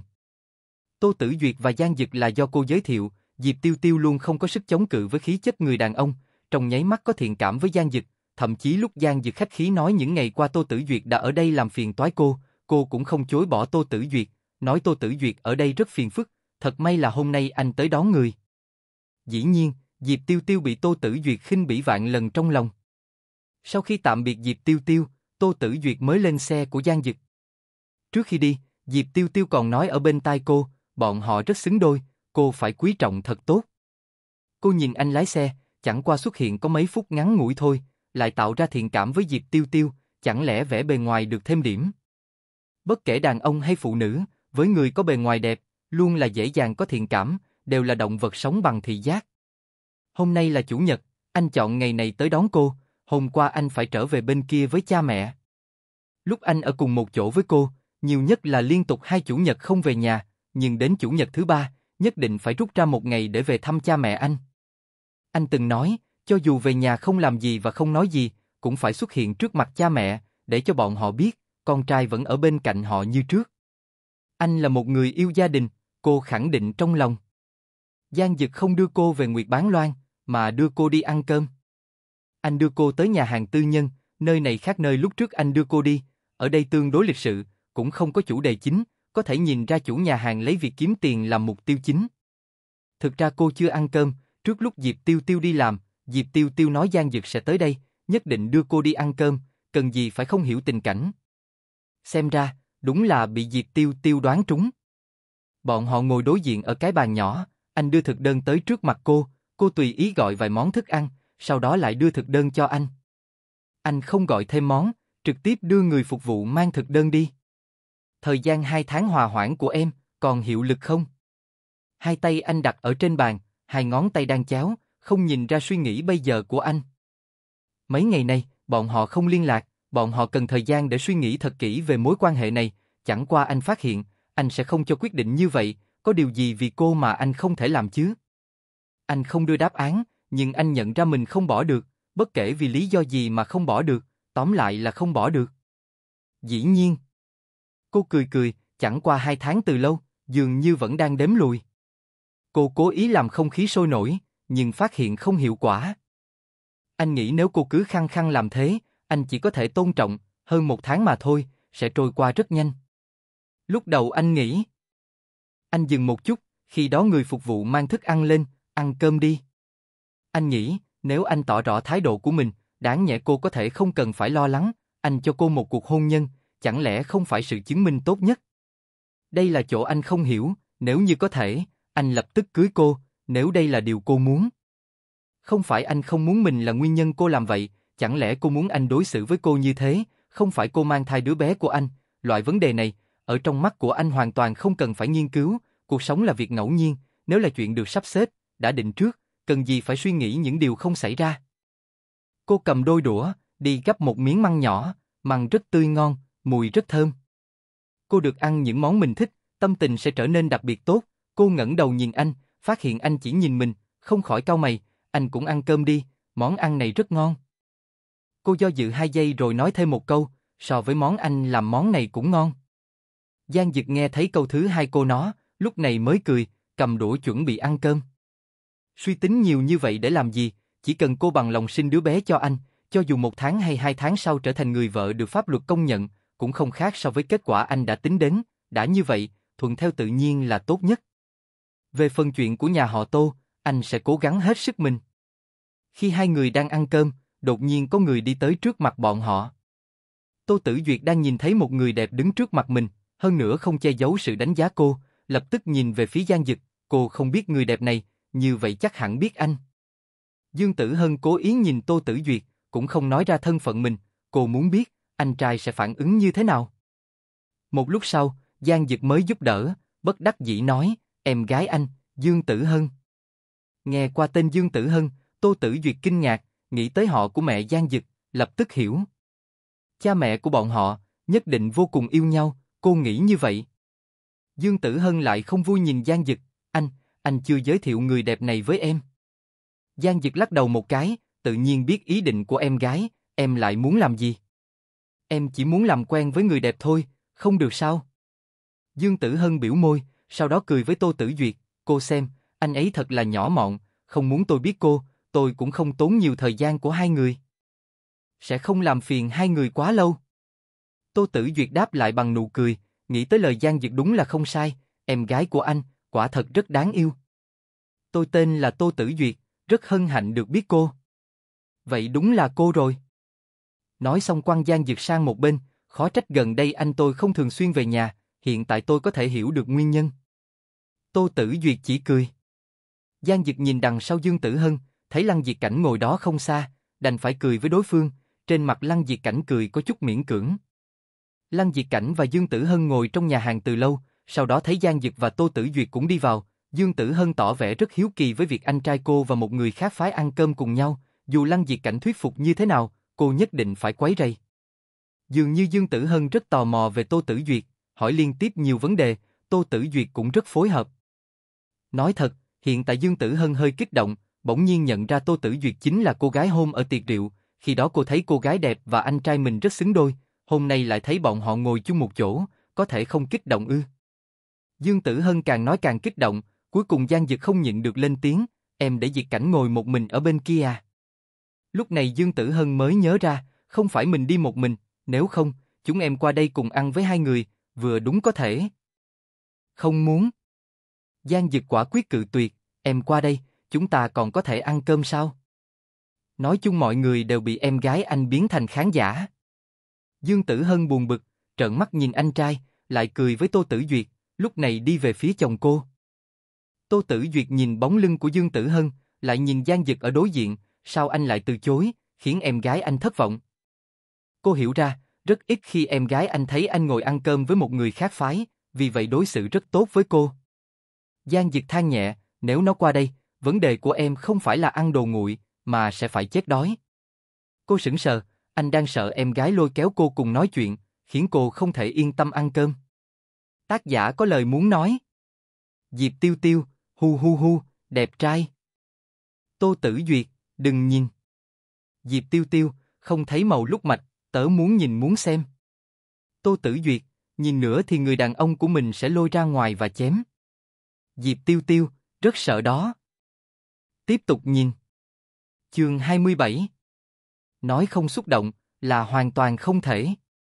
Chỉ là loại xúc động này vừa lúc trở thành cảm động thì cô lập tức ngăn cản, tự nói với mình, anh chỉ là thuận miệng nói mà thôi, cô lại theo bản năng đi phóng đại cảm thụ trong lòng. Cô vẫn tránh làm người phụ nữ quá mức tình cảm nhưng nhiều lần lại vẫn phạm phải sai lầm này. Cô cúi đầu nghiêm túc ăn cơm, không nhìn anh, cũng không nói chuyện với anh. Lúc cô cơm nước xong, ngẩng đầu lên, phát hiện anh cũng đang nhìn mình, cô theo bản năng muốn tránh khỏi ánh mắt như vậy, chỉ là lại ép buộc mình không cần tránh, tâm lý và hành động vô cùng mâu thuẫn. Cũng may, lúc này Dương Tử Hân lôi kéo chồng mình đi tới, trên mặt là nụ cười hòa thuận vui vẻ, hai người đã ăn cơm xong chưa? Dương Tử Hân nhìn qua giống như hỏi thăm, như là chuyện đương nhiên. Còn Giang Dực hiểu khá rõ em gái của mình, nét mặt nhìn về phía Dương Tử Hân chính là, em lại muốn như thế nào? Nhìn ánh mắt của Giang Dực, Lăng Diệt Cảnh làm chồng của Dương Tử Hân cũng cảm thấy hết sức bất đắc dĩ, anh không quản được vợ của mình rồi, cũng chỉ là không muốn quản còn là không quản được, anh đều vui lòng đi phối hợp với cô. Dương Tử Hân đề nghị bốn người bọn họ cùng đi ra ngoài một chút, đi khu vui chơi chơi, Giang Dực lập tức liền đánh giá ngây thơ, Dương Tử Hân trực tiếp kéo tay của Tô Tử Duyệt, hướng anh trai mình bất mãn mở miệng, phụ nữ ngây thơ chút đáng yêu hơn.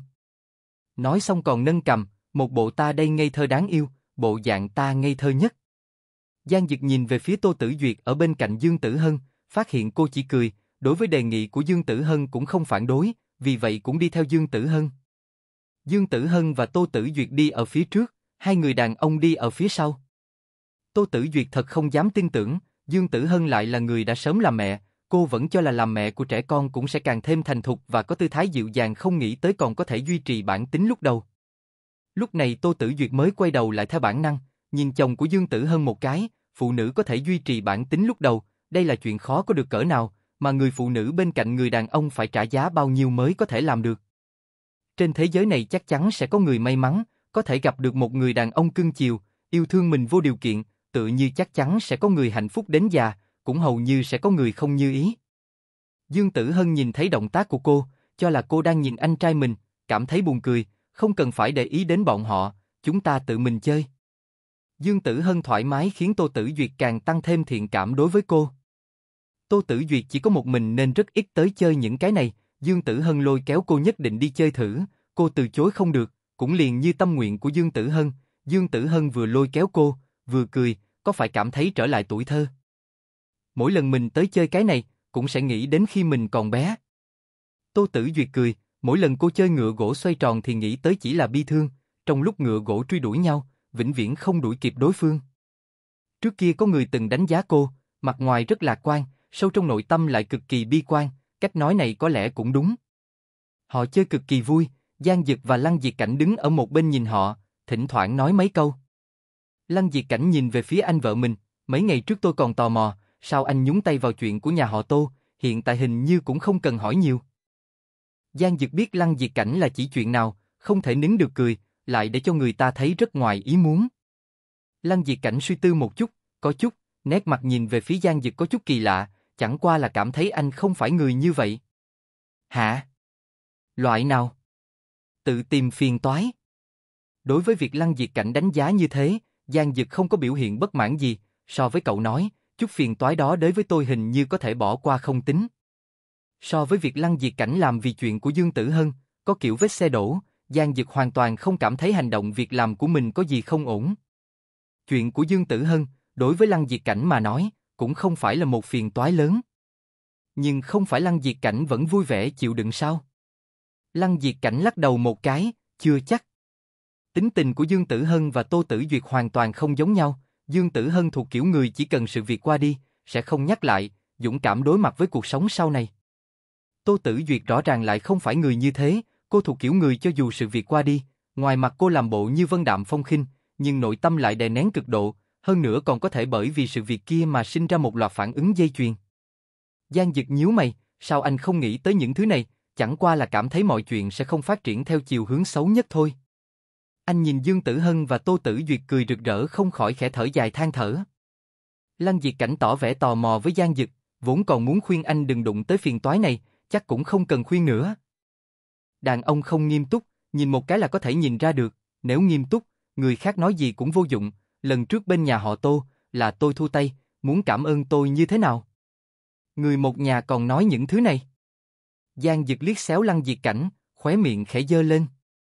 Lăng Diệt Cảnh lắc đầu một cái, cũng biết sẽ là như thế này, thôi, anh đối với nhà họ Tô như vậy, cũng không sợ bên nhà họ Hạ sẽ bất mãn. Tôi có gì phải sợ? Trước kia không phải anh. Lăng Diệt Cảnh suy nghĩ một chút, cảm thấy nếu Giang Dực lựa chọn làm như vậy, nhất định đã suy tính đến nhà họ Hạ, vì vậy im lặng không nói nữa. Giang Dực biết Lăng Diệt Cảnh chỉ cái gì, chỉ là không muốn nhắc tới cái đề tài này. Lăng Diệt Cảnh biết Giang Dực với nhà họ Hạ có hợp tác, hơn nữa còn không phải là hợp tác đơn giản như vậy. Khi hai đôi tách ra, Dương Tử Hân dùng ánh mắt của mình biểu đạt lưu luyến không rời, lúc này mới cùng Lăng Diệt Cảnh nắm tay rời đi. Trước khi rời đi, Dương Tử Hân bị Giang Diệt ám chỉ qua, không để cho cô nói chuyện ngày hôm nay ở trước mặt ba mẹ, cô suy nghĩ một chút, rõ ràng nhìn bộ dạng của anh đối với tô mỹ nữ rất nghiêm túc, vì sao không để cho cô nói. Khi đàn ông nói như vậy ở thời điểm này, hơn một nửa là không có ý định tiến thêm một bước cùng người phụ nữ này, dù sao dính đến ba mẹ thì không còn là tình yêu đơn thuần. Anh nói xem, anh ấy có nghiêm túc với Tô Tử Duyệt không? Cô nghĩ mãi, hay là hỏi ra khỏi nghi ngờ của mình? Lăng Diệt Cảnh nhíu mày, cái này em nên hỏi anh em. Nếu như anh ấy chịu nói, cô vẫn còn ở đây suy đoán sao?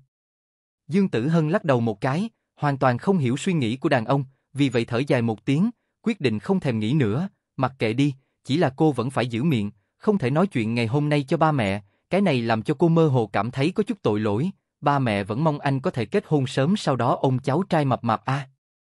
Lúc Dương Tử Hân cùng Lăng Diệt Cảnh rời đi, Tô Tử Duyệt theo bản năng quay đầu lại, thấy Tuấn Nam Mỹ nữ nắm tay, trong lòng cảm giác có chút ê ẩm. Một đôi như vậy, ai sẽ cảm thấy bọn họ là vợ chồng kết hôn hơn mấy năm? Kiểu sống cùng nhau hoàn toàn là kiểu tình nhân, hơn nữa còn là đôi tình nhân cuồng nhiệt trong tình yêu, dắt tay nói đùa không cố kỵ chút nào.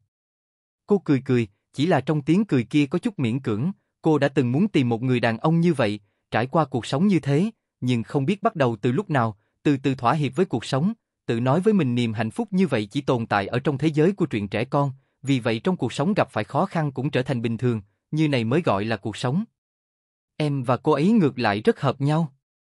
Giang Dực không giải thích được thốt ra câu như vậy. Hả? Cô hình như không hiểu lắm. Em và Tiểu Hân ở chung một chỗ thì số lần cười nhiều hơn so với khi ở bên anh. Anh tỉnh táo nói ra những lời này. Tô Tử Duyệt sâu kín thở dài, anh cũng nói như vậy, cô còn có thể cười với anh được sao? Sau khi lên xe, cô do dự, có nên ngỏ ý cảm ơn với anh không, dù sao chuyện trong công ty, chính là dựa vào anh giúp một tay. Cô do dự rất lâu, vẫn là không nói ra. Cô nói cảm ơn, anh gật đầu, ngược lại khiến hai người lúng túng hơn. Còn chưa tới Nguyệt Bán Loan thì anh đã dừng xe lại, cô nghi hoặc nhìn, lúc này anh mới lên tiếng giải thích, không có thức ăn, đi siêu thị mua ít thức ăn rồi về. Cho nên bọn họ hai người cùng nhau xuống xe, vào siêu thị. Cuộc sống như thế, làm cho trong lòng cô thực tế hơn. Chỉ là đột nhiên nghĩ đến, cô không về Nguyệt Bán Loan nữa, thì anh cũng không có nơi nào để đi. Anh làm việc, cho tới bây giờ đều không thích nghĩ đến là làm, nếu như anh ở chỗ nào, nhất định sẽ mua thức ăn trước, mà không phải như hiện tại đi dạo siêu thị cùng với cô. Lúc này không sớm cũng không muộn, mặc dù siêu thị nhiều người, vẫn chưa đến nỗi đầy ắp cả người. Anh đẩy xe, cô chọn mua, sau đó khi thức ăn còn chưa chọn được, trong xe đẩy đã có khá nhiều đồ. Giang Dực cúi đầu xem xét, các loại sữa chua, khẽ cau mày, liền lấy ra để lại giá hàng, Tô Tử Duyệt nhìn thấy động tác của anh, mắt mở to nhìn anh chằm chằm. Ăn ít. Ăn sữa chua không ảnh hưởng gì đến sức khỏe. Em mua nhiều như vậy, quá hạn sử dụng thì làm thế nào? Anh nhớ hạn sử dụng của thứ này vô cùng ngắn. Lúc này trong lòng Tô Tử Duyệt không phục tiếp tục chọn thứ khác, cô rất thích uống sữa chua, lúc tâm tình không tốt thì uống. Không cần ống hút, trực tiếp coi sữa chua như nước uống, sau đó trên môi đều là màu trắng sữa chua, khiến Diệp Tiêu Tiêu đánh giá là kẻ trúng độc miệng đang sùi bọt mép. Thấy cô do dự chọn đồ ăn vặt không tốt cho sức khỏe, anh vươn tay chặn ngang kéo cô đi, đi mua thức ăn. Cô vốn đang do dự mua loại bánh bích quy nào, bị anh lôi đi như vậy, cũng không phiền muộn bao nhiêu, bởi vì cô xác thực còn chưa cân nhắc kỹ, buông tha cũng là một loại lựa chọn. Giang Dực mua thức ăn chỉ mua đồ mới, hễ là đồ ăn không tươi, thì sẽ không nhìn một cái, hơn nữa cũng không mua đồ ăn phá giá hoặc giảm giá. Tô Tử Duyệt đi theo phía sau, nhìn ngón tay khớp xương rõ ràng của anh lấy khoai tây thì cảm thấy hình tượng này rất. Chính là nếu như cầm máy ảnh chụp được, lại chụp được bộ dạng có một không hai lúc anh đang ngồi trong phòng làm việc, so sánh hai cái, cảm giác khẳng định vô cùng tốt. Cô thật muốn nhắc nhở anh, trên khoai tây còn dính bùn. Sau đó anh lại đi lấy rau muống. Cô nhìn thấy động tác sau đó của anh, không tự chủ biểu môi. Hình như là lúc học sơ trung, lúc học môn sinh học, thầy giáo nói có một loại sinh vật là châu chấu, lúc một con trâu uống nước uống vào một con, không bao lâu con trâu này chết đi, trong bụng đều bị con châu chấu này hấp thụ hết. Thầy giáo kia còn nói, lúc ăn rau muốn cẩn thận một chút, thỉnh thoảng cũng sẽ có châu chấu lẫn ở trong đó. Sau này, cô nhìn thấy rau muống, đều sẽ liên tưởng đến châu chấu, quả thật không có thuốc chữa.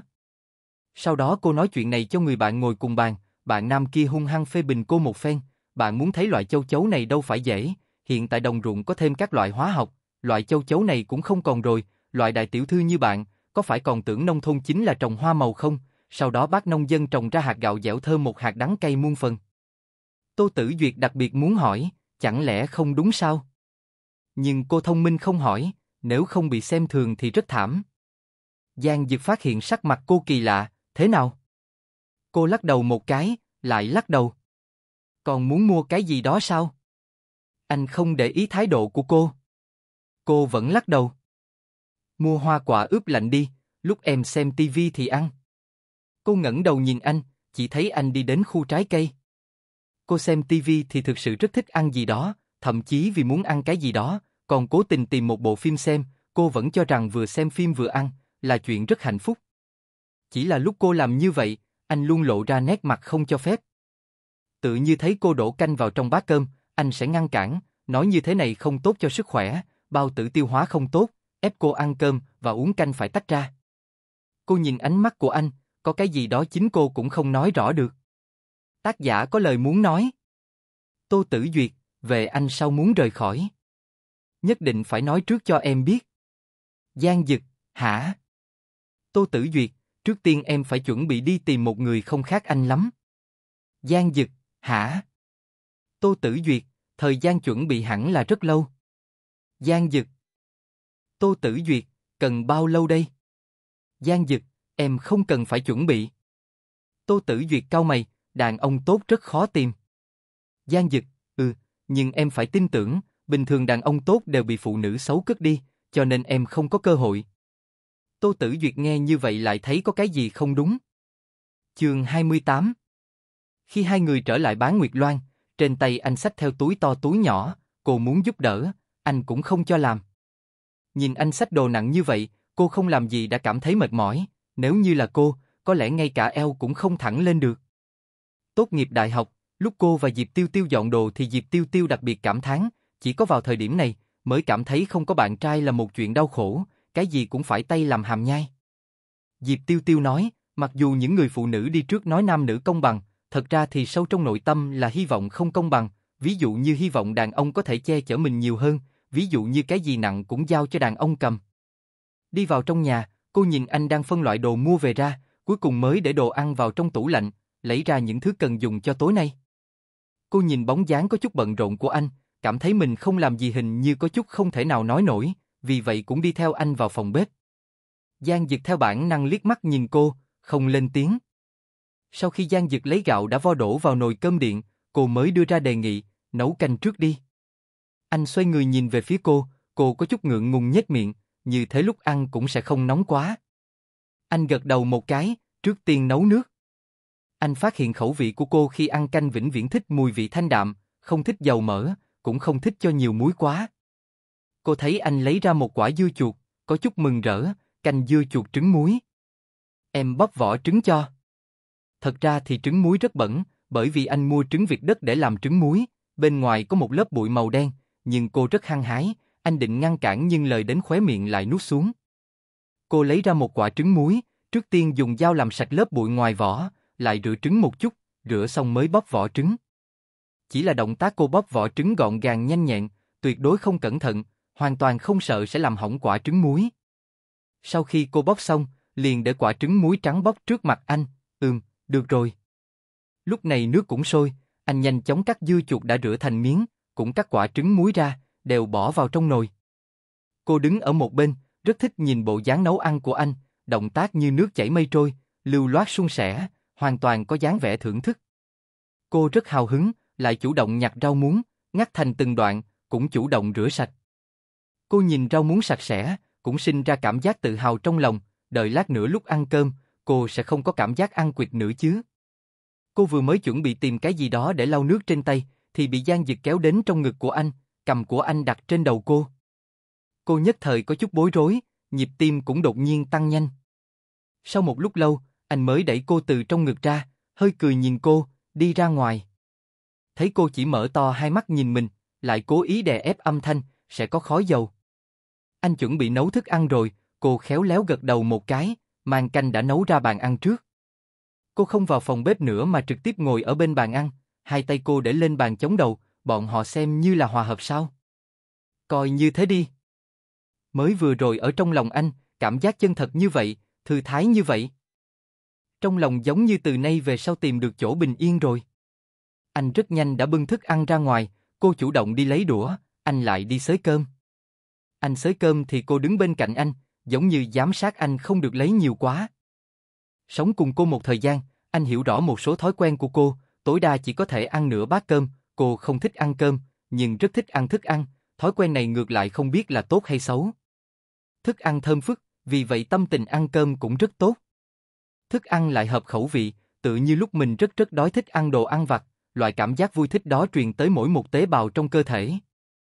Cô ăn cơm xong, lại múc một chén canh, từ từ uống hết, lúc này mới nhìn về phía đầu bếp ngồi đối diện cô, kỹ thuật nấu ăn lại có tiến bộ, nếu như sau này anh không muốn mở công ty nữa, có thể mở quán ăn, tự mình làm đầu bếp. Đến lúc đó em ngày nào cũng đến. Anh hơi hất mày, biết hiện tại tâm tình cô coi như không tệ. Dĩ nhiên, phải giảm giá. Khóe miệng anh khẽ câu, quán ăn nhà mình, em còn phải trả tiền. Cô khẽ ngẩn người, một lúc lâu sau mới mím môi, đây không phải là sợ có người nói anh không phân biệt công tư sao? À, đây là vì tốt cho anh. Dĩ nhiên. Anh đứng dậy dọn dẹp bát đũa, cảm ơn sự quan tâm của em. Cô nhún nhún vai, cũng đứng lên cất mâm. Anh nấu ăn thích nhất là có ít đồ ăn thừa, lượng vừa đủ, cô là người không để thừa đồ ăn, cảm giác không thoải mái, nếu như thức ăn còn lại một ít, cô nhất định sẽ ăn hết, dù sao nhất định không để đến bữa sau. Sau khi dọn dẹp hết phòng bếp, bọn họ mới ra ngoài đi dạo như thường ngày. Nơi này yên tĩnh, trong gió nhẹ mang theo cảm giác mát lạnh, rất là sảng khoái, đủ loại hương hoa được gió mang đến, tăng thêm vài phần cảm giác huyền bí và thoải mái dễ chịu. Bọn họ sóng vai đi, dưới đèn đường có hình bóng mờ nhạt, một phần bóng có hơi trùng lên nhau. Qua ngày mai, em sẽ về nhà. Cô suy nghĩ một chút, vẫn nói cho anh quyết định của cô. Hả? Sắp tới đại thọ 70 của ông nội, em muốn về với ông. Thời gian cô ở cùng ông nội không tính là nhiều, bình thường thích chạy đi chơi, ông cũng khuyến khích cô đi ra ngoài, trước mặt cô cũng sẽ không nói chuyện phiền phức trong công ty. Bây giờ ông cũng 70 tuổi rồi, cô mới nhận ra, thế nhưng rất là chua xót. Anh gật đầu một cái, biết cô và ông nội Tô sống nương tựa lẫn nhau, hiểu được phần tình cảm gắn bó này, quan hệ giữa em và ông rất tốt. Cô cười cười, chỉ là có chút ngượng ngùng, bây giờ nhìn lại, lúc em còn nhỏ rất không nghe lời, khiến ông nội rất là hao tâm tổn trí. Em còn có một mặt này. Đương nhiên là có, ông muốn em làm gì, em cố tình không làm. Ông cấm em làm chuyện gì, em lại cố tình đi làm. Vậy ông nội em nhận định bị em làm cho phát cáo. Mới không có. Mỗi khi em không nghe lời thì ông nội cũng chỉ là trừng mắt nhìn em. Em cũng không sợ ông, sau khi ông làm như vậy mấy lần, em cũng không tiếp tục làm như thế. Sao lại suy nghĩ một chút, dáng vẻ ông nội trừng em cũng không hung dữ, tại sao em lại sợ như vậy? Có lẽ là quá uy nghiêm. Có lẽ. Dù sao chính cô cũng không nghĩ ra là tại sao. Giang Dực hình như cũng nhớ tới chuyện của mình khi còn bé, tính tình ông nội anh rất tốt, luôn cười ha hả với người khác. Nhưng anh với Tiểu Hân cũng không thích chơi với ông, bởi vì ông ấy thích lôi kéo bọn anh đánh cờ, hơn nữa còn chơi không dứt. Sau đó ông nội qua đời, để lại rất nhiều đồ ăn bọn anh thích ăn cho bọn anh, nói khi nào bọn anh đến chỗ ông thì lấy ra cho bọn anh ăn, Tiểu Hân thấy những đồ ăn vặt kia thì khóc hoa hoa. Còn nhỏ, không hiểu được loại tình cảm người già khát vọng bọn tiểu bối ở bên cạnh mình, chờ đến lúc rốt cuộc hiểu ra thì người già đã không còn. Vậy anh có khóc không? Anh công miệng, cũng không trả lời. Khẳng định là không có. Tại sao khẳng định như vậy? Bởi vì anh máu lạnh vô tình chứ sao? Cô che miệng nhẹ giọng cười. Anh nhìn bộ dạng kia của cô, bất đắc dĩ than thở, ôm thân thể của cô, thật sợ cô đột nhiên ngã xuống.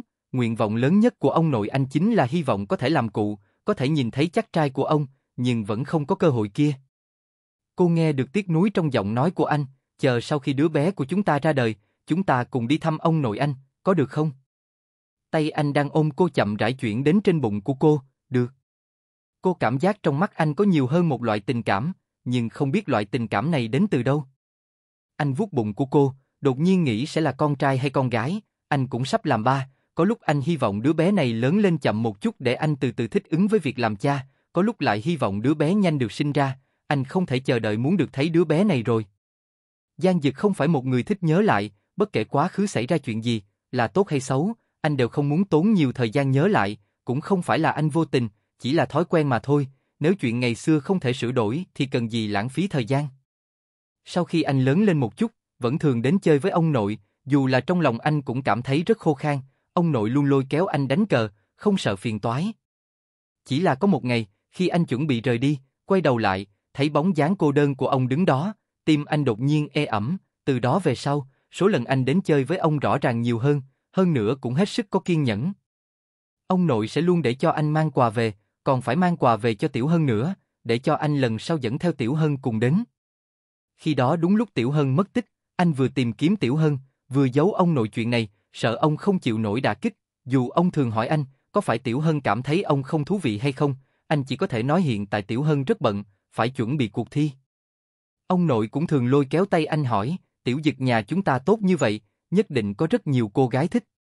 Anh chỉ cười không nói lời nào. Sau đó lời của ông biến thành, Tiểu Dực, mang cô gái con thích đến cho ông xem một chút đi. Sau đó nữa ông thích nói nhất là, thật muốn nhìn con kết hôn sinh con, như vậy cuộc đời này ông cũng không hối tiếc.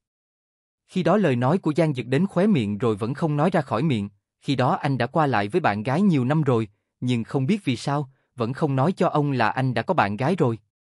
Có lẽ, trong lòng anh cũng biết, anh và nữ sinh kia, không thể đi đến lâu dài. Tình yêu cuồng nhiệt lúc ban đầu trở nên lạnh nhạt, từ lạnh nhạt rồi đến cãi vã, mặc dù anh không ngờ sẽ tách ra, nhưng từ đầu đến cuối vẫn không muốn tiến thêm một bước. Nếu như biết trước ông sẽ ra đi nhanh như vậy, anh có thể sẽ nói ra. Có lẽ cũng sẽ không, anh cho tới bây giờ cũng không phải người nguyện ý hy sinh hạnh phúc của mình vì chuyện như vậy. Giang Dực phục hồi lại tinh thần, ánh mắt nhìn về phía Tô Tử Duyệt thâm ý hơn, mà chính anh cũng khó lý giải loại cảm giác tinh tế này. Cô nói anh là người rất có ý thức trách nhiệm, anh là loại người như vậy sao? Cô nói anh tốt như vậy. Sẽ chịu trách nhiệm đạo đức trói buộc. Anh làm việc luôn luôn không bị người khác trói buộc, cho tới bây giờ đều là do tự anh làm chủ, anh tin tưởng tự mình làm chủ thì dù kết quả không tốt, cũng sẽ không hối hận. Mặc dù đứa bé này không hề có trong dự liệu của anh, nhưng anh không bài xích, thậm chí tiếp nhận nó, còn có mơ hồ vui vẻ. Anh hình như đã hiểu ra chút gì đó, nếu như anh không mong chờ sinh mạng này, anh sẽ lựa chọn để cho cô bỏ đứa bé này, mà không phải để cho cô sinh nó ra. Thì ra có lẽ là từ lâu trước kia, thái độ của anh đã dao động. Anh không nghĩ vì cô gái này mà tốt như vậy, có thể nguyện ý quất ức mình. Tác giả có lời muốn nói. Phương Văn Thành, tại sao tôi ngay cả nam phụ đều không được? Lục lục, anh không được chứ sao? Phương Văn Thành Về tiểu thuyết này, là viết lúc trong lòng ta không tốt nhất, lúc ấy ta tưởng là nội tâm của ta bình thản cho nên viết tiểu thuyết này đối với ta mà nói rất ôn hòa. Gần sống rất ít, cũng là tiểu thuyết nam nữ chính chung đụng nhiều nhất của ta rồi, khi đó ta muốn khiêu chiến mình một chút, có thể viết loại tình tiết này không nhiều lắm, dựa hết vào ngôn ngữ miêu tả là có thể viết văn, cho nên ta thử một chút, có lẽ rất nhiều người không thể nào tiếp thu được đi. Chương 29 Tô Tử Duyệt trở lại nhà họ Tô, cô có thể cảm thấy rõ ràng gần đây tâm tình ông nội rất tốt, có lẽ là đã trải qua đoạn thời gian khó khăn trước kia, cho dù tình hình công ty bây giờ cũng không tốt hơn bao nhiêu, nhưng không đến mức tuyệt vọng, khiến ông thấy được hy vọng lần nữa, vì vậy tất cả ý chí chiến đấu đều đã trở lại, mỗi ngày bận rộn rồi lại hưng phấn. Buổi tối Tô Tử Duyệt cùng ông Tô ăn cơm xong, sẽ cùng ông Tô ra ngoài đi dạo một chút, bàn luận chút chuyện không quan trọng lại thoải mái vô cùng. Tô Tử Duyệt thu thập một ít chuyện cười thấy được trên Internet đã thành thói quen, khi ở cùng ông liền kể cho ông những chuyện cười này, chọc cho ông cũng cười không ngừng. Cô thích nhìn ông nội cười, như vậy sẽ làm cho cô cảm thấy ấm áp trong lòng. Không đến mấy ngày nữa thì là sinh nhật 70 của ông Tô, vốn dĩ ông Tô không thích tổ chức bữa tiệc sinh nhật này một cách đặc biệt, nhưng lần này lại khác, một mặt là tình trạng công ty hiện nay, để cho người ta thấy tình trạng nhà họ Tô bây giờ, hơn nữa sinh nhật lần thứ 70, căn bản đây là lần sinh nhật đặc biệt, vì vậy ông Tô quyết định tổ chức một tiệc rượu sinh nhật, như vậy cũng có thể làm cho mấy người đầu tư vẫn còn dao động kia biết, mặc dù công ty Tô Thị bắt đầu xuống dốc, nhưng dù sao, cũng là công ty lâu năm, vẫn kiên quyết cải tử hồi sanh, còn có nghị lực sinh tồn nữa. Vì tiệc rượu sinh nhật này, Tô Tử Duyệt cũng bận rộn, cô biết chuyện này không giống bình thường, ông nội phải mượn chuyện này bày ra tư thái của mình, nếu như ngay cả bọn họ cũng có bộ dạng chật vật, thì công ty Tô Thị thật sự là bị hủy trong chốc lát rồi. Tô Tử Duyệt quan tâm như thế, ông Tô nhìn thấy nhưng vẫn không ngăn cản. Chỉ là ông Tô gặp hướng Huy thì thỉnh thoảng cảm thán, tiểu duyệt của ta rốt cuộc đã trưởng thành. Trong giọng nói không có mấy phần thông tin, ngược lại phiền muộn lại nhiều hơn mấy phần. Tiểu thư luôn rất hiểu chuyện.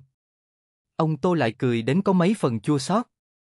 Ông Tô thương yêu cô cháu gái này đến mức hận không thể đem tất cả những gì tốt đẹp đều mang đến trước mặt cô, mỗi khi ông Tô nhìn Tô Tử Duyệt, ấy nấy trong lòng lại khó có thể giải trừ, năm đó ông cố chấp quá mức, nếu không sẽ không để cho Tiểu Duyệt vừa sinh ra đã không có ba, không được bao lâu lại mất mẹ, nhiều năm trôi qua như vậy, ai đúng ai sai đã không thể nói rõ, ông chỉ biết cô cháu gái này chính là sinh mệnh của mình, có thể chính ông sống không tốt, cũng không thể để cho cô sống. Không tốt. Cả đời này, luôn phải có người mình muốn bảo vệ, mới có thể có dũng khí tiếp tục kiên trì. Tiệc sinh nhật hôm nay, Tô Tử Duyệt cùng xuất hiện tại bữa tiệc với ông Tô. Cách ăn mặc của cô thật sự dày đặc, không phải trang điểm, mà là phục sức, để cho cô có vẻ cao cao tại thượng, hơn nữa không cho phép kẻ khác khinh nhờn. Căn bản cô vốn đã xinh, dưới thủ pháp của thời trang điểm, khí chất càng tốt hơn. Sự xuất hiện của cô cũng hấp dẫn ánh mắt của phần lớn những người có mặt ở đây, trong mắt không ít người cũng thoáng qua một tia kinh ngạc. Cô lại chỉ kéo tay ông Tô, yên lặng đợi ở bên người ông Tô, tư thái cũng không phô trương. Ông Tô vỗ vỗ tay cô, ý bảo cô có thể thoải mái hơn một chút. Ông Tô tung hoành thương trường nhiều năm như vậy, không ít người còn chịu cho mặt mũi, huống chi phần lớn người trong đó vẫn còn xem thái độ thế nào, đều rất muốn biết, ông Tô có thể vượt qua cửa ải khó khăn lần này hay không, chỉ là phần lớn số người không xem trọng lắm, tuổi ông Tô đã lớn, người bình thường ở độ tuổi này cũng đã về hưu, nên giao thương trường cho lớp người trẻ tuổi rồi. Phần lớn người đến dự, hầu hết Tô Tử Duyệt đều không nhận ra, chỉ lúc ông Tô bảo cô chào hỏi thì cô đều cười vui vẻ, ngọt ngào chào. Mà ông Tô vẻ mặt tươi cười nói chuyện với người khác, nói từ tham chính đến mắt xích lưu thông hàng hóa bị chậm, nhìn qua chủ khách đều vui mừng. Không bao lâu, Tô Tử Duyệt liền phát hiện tinh thần ông nội chấn động, cô cũng nhìn sang hướng ông đang nhìn, Hạ Tông Vân đến, người khoát tay của Hạ Tông Vân là Hạ Ngữ Đình. Cô cũng quên mất đã bao lâu mình chưa thấy Hạ Ngữ Đình rồi, vai diễn mà mình sắm vai trong cuộc đời rất quan trọng, loại vai diễn này không giống với diễn trên sân khấu lắm, lại cứ vào vai nhân vật phụ, trọng điểm là mỗi một lần ra sân khấu, cũng có thể ảnh hưởng đến cuộc đời của cô. Tô Tử Duyệt cùng tiếp đón với ông nội. Thế mà Tổng Giám Đốc Hạ lại tự mình đến, thật làm cho người ta bất ngờ. Ông Tô hé mắt, nhìn hậu bối này thì đáy mắt không hài lòng lắm, về phần Hạ Ngữ Đình bên cạnh Hạ Tông Vân, ông Tô lại chưa từng liếc mắt nhìn một cái, dù là từ góc độ huyết thống mà nói, Hạ Ngữ Đình cũng coi là cháu gái của ông, nhưng ông Tô biết, đời này mình chỉ có một cô cháu gái, chỉ có Tiểu Duyệt mới là thân nhân duy nhất của ông. Sinh nhật 70 của chủ tịch Tô, sao tôi có thể không tự thân trình diện chúc mừng chứ? Dù sao nhà họ Tô, nhà họ Hạ cạnh tranh nhiều năm, nhà họ Hạ có thể đi tới ngày hôm nay, còn phải cảm ơn chủ tịch Tô hào phóng, nhường hơn nữa thị trường cho Hạ thị, sao tôi có thể không tự mình bày tỏ lòng biết ơn với chủ tịch tôi chứ? Nhất định xin hãy nhận lấy cảm kích của tôi, nếu không tôi sẽ khó an lòng. Hà Tông Vân cười đến vô cùng vô hại, nói ra lại châm chọc như một cây đao xuyên qua lòng người. Lòng biết ơn của Tổng Giám Đốc Hạ, tất nhiên ta sẽ nhận. Chỉ là làm trưởng bối, vẫn có thể chỉ điểm đôi lời cho hậu bối, song có khúc người có lúc, cười đến cuối cùng mới là người thắng. Không phải vậy sao? 30 năm trước chủ tịch Tô là nhân vật phong vân một cõi. Hạ Tông Vân bỏ đi nửa câu sau, hiện tại, còn có bao nhiêu người để chủ tịch Tô ở trong mắt, cũng không phải là sông có khúc người có lúc sao. Về phần người cười đến cuối cùng, anh ta cũng không nhìn ra ông lão đã 70 tuổi còn có hơi sức tiếp tục tranh đoạt. Ông Tô vẫn cười, Tổng Giám Đốc Hạ nhớ là tốt rồi, đừng quên, gừng càng già càng cay. Trí nhớ không tệ, đối với chuyện đã qua, còn nhớ rõ một hai. Sau khi Hạ Tông Vân nhìn bốn phía, cười đến không chút để ý, mặc dù làm vãn bối không nên nói ra ý kiến gì, chỉ là chủ tịch Tô, dùng số tiền lớn như vậy để tổ chức một bữa tiệc sinh nhật, không bằng bỏ khoản tiền này vào công ty, như vậy cũng có thể để người bên ngân hàng ít gọi điện thoại thúc giục mấy khoản tiền kia. Xem ra tình trạng kinh doanh của Hà Thị không tốt, bữa tiệc sinh nhật nhỏ như vậy, cũng có thể là số tiền khổng lồ trong mắt Tổng Giám Đốc Hạ. Ông Tô lạnh lùng hừ cười một tiếng, Tổng Giám Đốc Hạ vẫn là suy nghĩ vãn hồi mức tiêu thụ như thế nào đi, ta không tiếp thêm được nữa. Đầu ông Tô cũng không quay lại, liền mang theo Tô Tử Duyệt rời đi. Hạ Tông Vân liếc mắt nhìn bóng lưng ông Tô, tôi xem ông còn có thể ngông cuồng đến khi nào, một ngày nào đó, để cho ông khóc cũng không khóc nổi.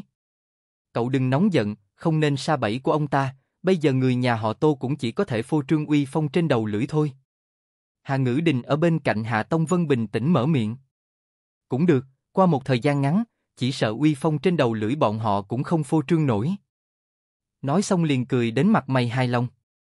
Hà Ngữ Đình cũng lộ ra nụ cười ngọt ngào. Hà Tông Vân thích cô cháu gái này cực kỳ, có năng lực, gặp chuyện còn có thể không sợ hãi. Ông Tô cũng không bị khiêu khích của Hạ Tông Vân ảnh hưởng, tiếp tục cùng người khác trò chuyện. Tô Tử Duyệt cũng không rõ cảm xúc thật sự trong lòng ông nội là gì.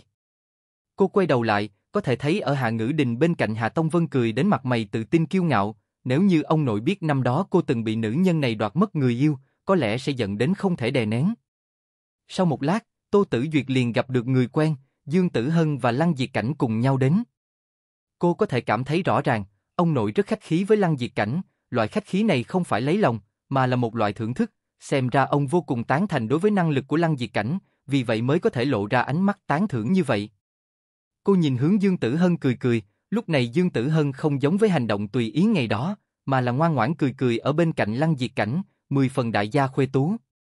Tô Tử Duyệt thấy Dương Tử Hân như vậy, đột nhiên bật cười, người phụ nữ thông minh, luôn luôn biết có ở trường hợp khác nhau thì sắm vai thân phận khác nhau.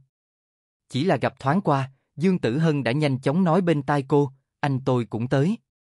Dương Tử Hân tiếp xúc Tô Tử Duyệt chưa được mấy lần, người phụ nữ có chút dối trá, hết lần này tới lần khác không làm cho người ta ghét, đây chính là bản lĩnh, tự như bạn biết một người đang gạt bạn, nhưng người này lại có thể làm cho bạn không tức giận không nổi giận, ngược lại lại đứng ở góc độ của người đó mà nghĩ, người đó bị ảnh hưởng bởi cái gì mới có thể lừa gạt mình, đây chính là một loại bản lĩnh, hơn nữa còn là bản lĩnh rất lớn. Người ngụy trang có hai loại, một loại là giả, loại còn lại là dùng vỏ ngoài đặc biệt bảo vệ mình, Dương Tử Hân nghĩ Tô Tử Duyệt là loại thứ hai. Tô Tử Duyệt không ngạc nhiên, gian dực mà tới loại trường hợp này, thực sự là không làm cho người ta ngoài ý muốn. Huống chi gian dực đến, đối với nhà họ Tô bọn họ chỉ có tốt chứ không có xấu, bất kể là ở thời đại nào, đều tin tưởng cách nói dưới bóng đại thụ chỗ nào cũng mát. Loại ý niệm này của cô vừa toát ra, đã nhìn thấy gian dực. Bộ dạng anh mặc tây trang, đi giày da không làm cho cô kinh ngạc, làm cho cô kinh ngạc là nét mặt bây giờ của anh, xa cách lại lạnh nhạt, lúc nói chuyện với người khác có vẻ khiêm tốn lễ độ, lại làm cho người ta có loại cảm giác bị áp bức vô hình. Người này nhìn qua thì xa lạ, hình như lại không quá xa lạ, quen thuộc lại trở thành không quen thuộc. Cô chỉ đứng ở một bên, nghe ông nội và anh nói chuyện với nhau, tư thái của anh trước mặt ông nội rất cung kính, mà ông cũng rất tán thưởng anh, nói thẳng nhà họ Giang sinh được một cậu con trai tốt, có thể hưởng phúc thanh nhàn sớm. Giang Dực không nói nhiều, nhưng cũng không tẻ nhạt. Trước kia khi bọn họ chưa qua lại nhiều, sau khi nói mấy câu cũng liền tách ra. Lúc cô rời đi cùng ông nội, quay đầu lại vừa vặn thấy Giang Dực cũng đang nhìn mình. Anh không e dè chút nào quan sát toàn thân cô, tự hồ đang đánh giá trang phục hôm nay của cô, cô không khỏi tức giận, lập tức quay đầu đi. Lại ở bên ông nội một lát, cô mới nói mình có chút mệt mỏi, đi nghỉ trước một lúc. Ông Tô liền để cho cô về, cô cũng cười, bảo ông chớ đuổi người, ông Tô bị cô bắt bí cũng không có cách nào, chỉ có thể theo cô đi. Sau khi Tô Tử Duyệt thấy Hướng Huy tới đây cùng với ông, lúc này mới yên tâm rời đi. Giống như là có một loại ăn ý, cô đi ra đại sảnh không bao lâu, Giang Dực lập tức theo tới. Thấy bốn phía cũng không có người, anh liền ôm lấy cô từ sau lưng, cướp sắc đây, còn không đi theo ta. Thật sự là cô không nghĩ tới anh sẽ như thế, sau khi thoáng sửng sốt, liền nhanh chóng khôi phục thần thái, từ nhỏ tiểu nữ đã lập chí muốn làm trinh tiết liệt nữ, thề bảo vệ sự trong sạch của mình, muốn vũ nhục ta, không bằng giết ta luôn đi. Mỹ nhân như thế, sao ta có thể xuống tay được? Anh đặt cầm trên vai cô, không ngừng thổi khí về phía lỗ tai cô. Cô cảm thấy lỗ tai hơi ngứa, hình như trong lòng cũng ngứa một chút, toàn thân cũng tê tê dại dại. Đừng làm rộn, bị người nhìn thấy thì không tốt. Cô ổn định tâm trạng, thoáng nhắc nhở anh. Anh sâu kín thở dài, cũng khôi phục nghiêm chỉnh, tay đặt ở ngang hông dời đến miệng cô, thật là không có một chút lương tâm, mấy hôm nay có nghĩ đến anh không? Không có. Cũng biết, điện thoại cũng không gọi một cuộc. Không phải anh cũng không gọi điện thoại cho em. Chính là anh muốn biết em có chủ động gọi điện thoại cho anh không? Thật là không được tự nhiên vô cùng. Rốt cuộc anh nới lỏng tay, cô cũng thở phào nhẹ nhõm, anh ăn mặc nghiêm chỉnh như vậy, lại nói ra lời nói không đứng đắn như vậy, làm cho cô hoài nghi có phải là anh hay không rồi, chỉ là nghĩ lại lại muốn, có lẽ thỉnh thoảng lúc riêng tư anh chính là như thế, chỉ là do vấn đề thị giác, đại đa số người đến chỉ có thể nhìn thấy một mặt anh thân sĩ có phong độ thôi. Ông Tô không thấy Tô Tử Duyệt ở trong đại sảnh, vì vậy đi ra ngoài đại sảnh, bên này cũng không có người, ông lại tiến về phía trước, dưới gốc cây có một đôi đang đứng. Ông Tô dừng bước, đứng ở đó nhìn một lúc, lúc này mới nhìn hướng Huy, trở về. Hướng Huy cũng liếc mắt nhìn bên kia rồi đi theo Tô Lão rời đi. Một vị bạn học cũ của ông Tô cũng tham dự bữa tiệc lần này, chỉ là ông Tô nhắc tới Tô Tử Duyệt thì đối phương bày tỏ đã nhiều năm không gặp cô cháu gái này của ông, lúc này ông Tô mới muốn mang Tô Tử Duyệt tới gặp mặt bạn học cũ, nhưng không tìm được người. Tác giả có lời muốn nói. Lục lục, ý niệm ngu ngốc nhất của ngươi là gì? Tô Tử Duyệt, người cả đời chỉ yêu một người. Lục lục, tại sao cái ý niệm này lại rất ngu ngốc? Tô Tử Duyệt, có điều này ngươi không biết, kể từ khi tác giả không tin liền trở thành ngu ngốc. Lục lục, thế nào nghe mà muốn ói? Giang Dực, rốt cuộc biết được bà xã ta bị người nào dạy hư rồi. Chương 30 Trên một con đường nhỏ khác, Hạ Ngữ Đình đứng ở đó, cách đó không xa, cũng nhìn thấy một đôi này, ánh sáng có chút tối, nhưng cô vẫn thấy một đôi này rất rõ ràng, thậm chí còn nhìn thấy bọn họ đang cười, lần đầu tiên trong đời, cô có chút tự trách mình, thị lực tốt như vậy làm cái gì? Tô Tử Duyệt và Giang Dực Hạ Ngữ Đình nhẹ nhàng thở ra một hơi, Tô Tử Duyệt, cô cũng đáng có nụ cười vui vẻ vậy sao? Làm sao cô có thể xứng đáng để Giang Dực bên cô? Giang Dực từ hiện trường bữa tiệc rời đi, mới vừa ngồi vào xe của mình, đã có người gõ cửa sổ xe, anh hạ cửa sổ xe xuống, liền nhìn thấy Dương Tử Hân đang đứng ở bên ngoài. Dương Tử Hân cười với anh đặc biệt có thâm ý khác, tư vị yêu đương vụng trộm như thế nào? Thật tâm Giang Dực đối với cô em gái này là bất đắc dĩ, cũng không tệ lắm. Bộ dáng anh không che giấu chút nào khiến Dương Tử Hân hơi thất vọng, được rồi, tiếp tục cố gắng. Anh lắc đầu một cái, nghĩ tới cũng không biết bọn họ thấy được bao nhiêu, vậy hẳn là cũng không nhìn thấy cái gì, đại khái chính là nhìn thấy anh và Tô Tử Duyệt cùng đi ra ngoài, cô em gái này của anh còn không có yêu thích việc tìm tòi nghiên cứu người khác. Khi anh chuẩn bị kéo cửa sổ xe lên thì Dương Tử Hân lập tức đưa tay cản trở, ánh mắt của anh khẽ nhìn lên, nhìn về phía vẻ mặt Dương Tử Hân trở nên nghiêm túc. Anh! Dương Tử Hân nhẹ nhàng thở ra một hơi, có phải là cô ấy hay không? Hả? Em phát hiện em thật sự rất thích cô ấy, sợ bỏ ra tình cảm sau sẽ thành công giả trang. Một tay anh nâng cầm lên hình như suy nghĩ một chút, tỷ lệ này hẳn là rất nhỏ. Đã biết ý tưởng trong lòng anh, lúc này Dương Tử Hân mới sáng sủa cười một tiếng, anh, cái này rất tốt, em thật thích, ít nhất tốt hơn so với bạn gái trước của anh. Vẻ mặt anh dừng lại, Dương Tử Hân cũng biết mình nói sai, thật không biết bắt đầu từ lúc nào, không thể nói về cô gái kia trước mặt người khác. Giang Dực gật đầu một cái, lúc này mới lái xe rời đi. Nhưng Dương Tử Hân vẫn đứng tại chỗ, nhìn xe của anh rời đi, không có cách nào che giấu chua xót trên gương mặt. Lăng Diệt Cảnh ngồi ở trong xe thấy vợ của mình vẫn không đi tới, nhấn kèn hai tiếng nhưng vẫn không có phản ứng, không thể làm gì khác hơn là chấp nhận từ trên xe bước xuống, đi tới bên cạnh Dương Tử Hân, đây là thế nào? Bị anh của em dạy dỗ sao? Cô lắc đầu một cái, chỉ là nghĩ đến một chút chuyện không vui. Nếu là chuyện không vui, vậy cũng đừng suy nghĩ. Cô suy nghĩ một chút, cảm thấy cũng đúng, chỉ là có chút chuyện không nói ra không thoải mái trong lòng, có lúc cảm thấy rất hổ thẹn với anh hai, trước kia anh ấy có người bạn gái, rất đẹp, rất có cá tính, đại khái thuộc loại hình mà nhiều nam sinh thích, anh hai em cũng rất thích cô ấy. Có thể có đoạn thời gian, em liên tục bị bệnh, anh hai luôn ở cùng với em, bạn gái anh tức giận, vì vậy gây gỗ với anh ấy. Hình như chính là từ đó về sau, bọn họ luôn gây gỗ. Sau khi Lăng Diệt Cảnh nghe xong, cười cười, không liên quan gì đến em. Hả? Hai người có ở chung một chỗ hay không, quan trọng nhất là bản thân bọn họ, về phần người khác, chẳng qua là chất xúc tác mà thôi. Lúc này cô mới khẽ thoải mái, đi theo chồng mình cùng lên xe. Hôm nay tâm tình ông Tô cũng không tệ lắm, Tô Tử Duyệt khuyên bảo để cho ông về nghỉ ngơi sớm một chút, không thể quá muộn, dù sao tuổi ông đã lớn, hôm nay ông Tô rất dễ nói chuyện, mặc dù bữa tiệc kết thúc không coi là sớm, nhưng cũng tuyệt đối không muộn. Chỉ là sau khi ra khỏi đại sảnh, dặn dò tốt công việc sau này, Tô Tử Duyệt cảm thấy sắc mặt ông thay đổi rõ ràng, thậm chí sau khi lên xe cũng không nói với cô một câu, dù cô chủ động mở miệng hỏi có phải ông quá mệt mỏi không, ông cũng không có đáp lại. Trở lại nhà họ Tô, Tô Tử Duyệt đỡ ông vào nhà, sau khi tiến vào, nhóm người hầu lập tức biết vâng lời tùy lúc chờ bọn họ phân phó. Ông kéo tay của cô ra, tự mình đi từng bước một tới lầu 2, cô nhận ra cảm xúc không đúng của ông, chỉ là hoàn toàn không hiểu, cảm xúc bất thình lình của ông nội là vì sao? Là vì công ty sao? Tình huống bây giờ thật không tốt. Cho nên ông cảm thấy lực bất tòng tâm. Cô thấp thỏm ngồi xuống, thật ra thì cũng biết, với tính tình của Giang Dực, thật ra thì sẽ không làm dư cái gì, nhiều nhất là anh mượn thân phận của mình, để cho người khác nhìn mặt mũi của anh mà xuống tay lưu tình thôi. Cô cũng luôn luôn biết, người kia sẽ không vì cô gái kia mà làm ra cái gì. Cô thở dài sâu kín, có lẽ vẫn là ông cảm thấy buồn rầu đi. Tiểu thư, lão gia gọi cô đến thư phòng. Người giúp việc cung kính truyền lời. Cô sững sờ, sau khi đứng dậy vẫn còn có chút không hiểu. Đã lâu, cô chưa từng đi thư phòng của ông nội rồi, chỗ đó tràn đầy sách, chất chồng chồng lớp lớp, chỉ nhìn thấy thôi đã để cho cô cảm thấy nhức đầu, khi còn bé cô không nghe lời thì ông liền nhốt cô ở thư phòng, có lẽ bản thân ông cũng rõ ràng, cô không có thiện cảm đối với thư phòng của mình. Thời điểm sau này, thư phòng liền trở thành nơi ông nói chuyện nghiêm túc, mà lần trước cô vào thư phòng, đã là cực kỳ lâu trước kia, hình như là sau khi thất tình từ bệnh viện trở về, căn bản ông và cô trò chuyện. Vì vậy, cô đối với hai chữ thư phòng này, vẫn không có tình cảm bình thường, loại cảm giác này giống như là nơi để hoàng đế duyệt tấu chương, tràn ngập trang nghiêm cùng nghiêm cẩn. Cô đi lên lầu 2, đứng ở ngoài cửa thư phòng, gõ cửa, sau đó đi vào. Ông. Cô đi vào, thấy ông ngồi ở vị trí chủ phòng, vì vậy chuẩn bị đi tới ngồi đối diện với ông. Lấy cái ghế ra.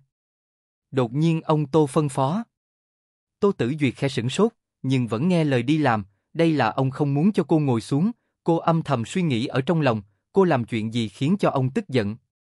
Ông Tô liếc nhìn cô một cái, quỳ xuống cho ta. Tô Tử Duyệt khó có thể tin nhìn ông một cái, nhưng cũng không có hỏi cái gì, vẫn cúi chân xuống, quỳ gối trước mặt ông. Sau khi cô quỳ gối, ông Tô chỉ cầm một quyển sách đặt trước mặt mình, căn bản không tính toán để ý đến cô. Cô cũng không dám hỏi tại sao, chỉ là yên lặng quỳ xuống, biết đây là ông trừng phạt mình, nhất định là mình đã làm ra chuyện gì để ông bất mãn, thói quen của ông là như thế, đầu tiên là công kích nội tâm của bạn, trước để cho bạn vừa tự mình suy nghĩ lung tung vừa thông suốt, đợi lát nữa ông hỏi thì có lẽ đối phương sẽ trả lời thành thật. Nửa giờ sau, ông Tô mới chậm rãi đặt sách xuống, nhìn Tô Tử Duyệt quỳ trên mặt đất, còn nhớ rõ lời nói của ta nói sao? Cô ngẩng đầu nhìn ông, trong mắt tràn đầy nghi ngờ.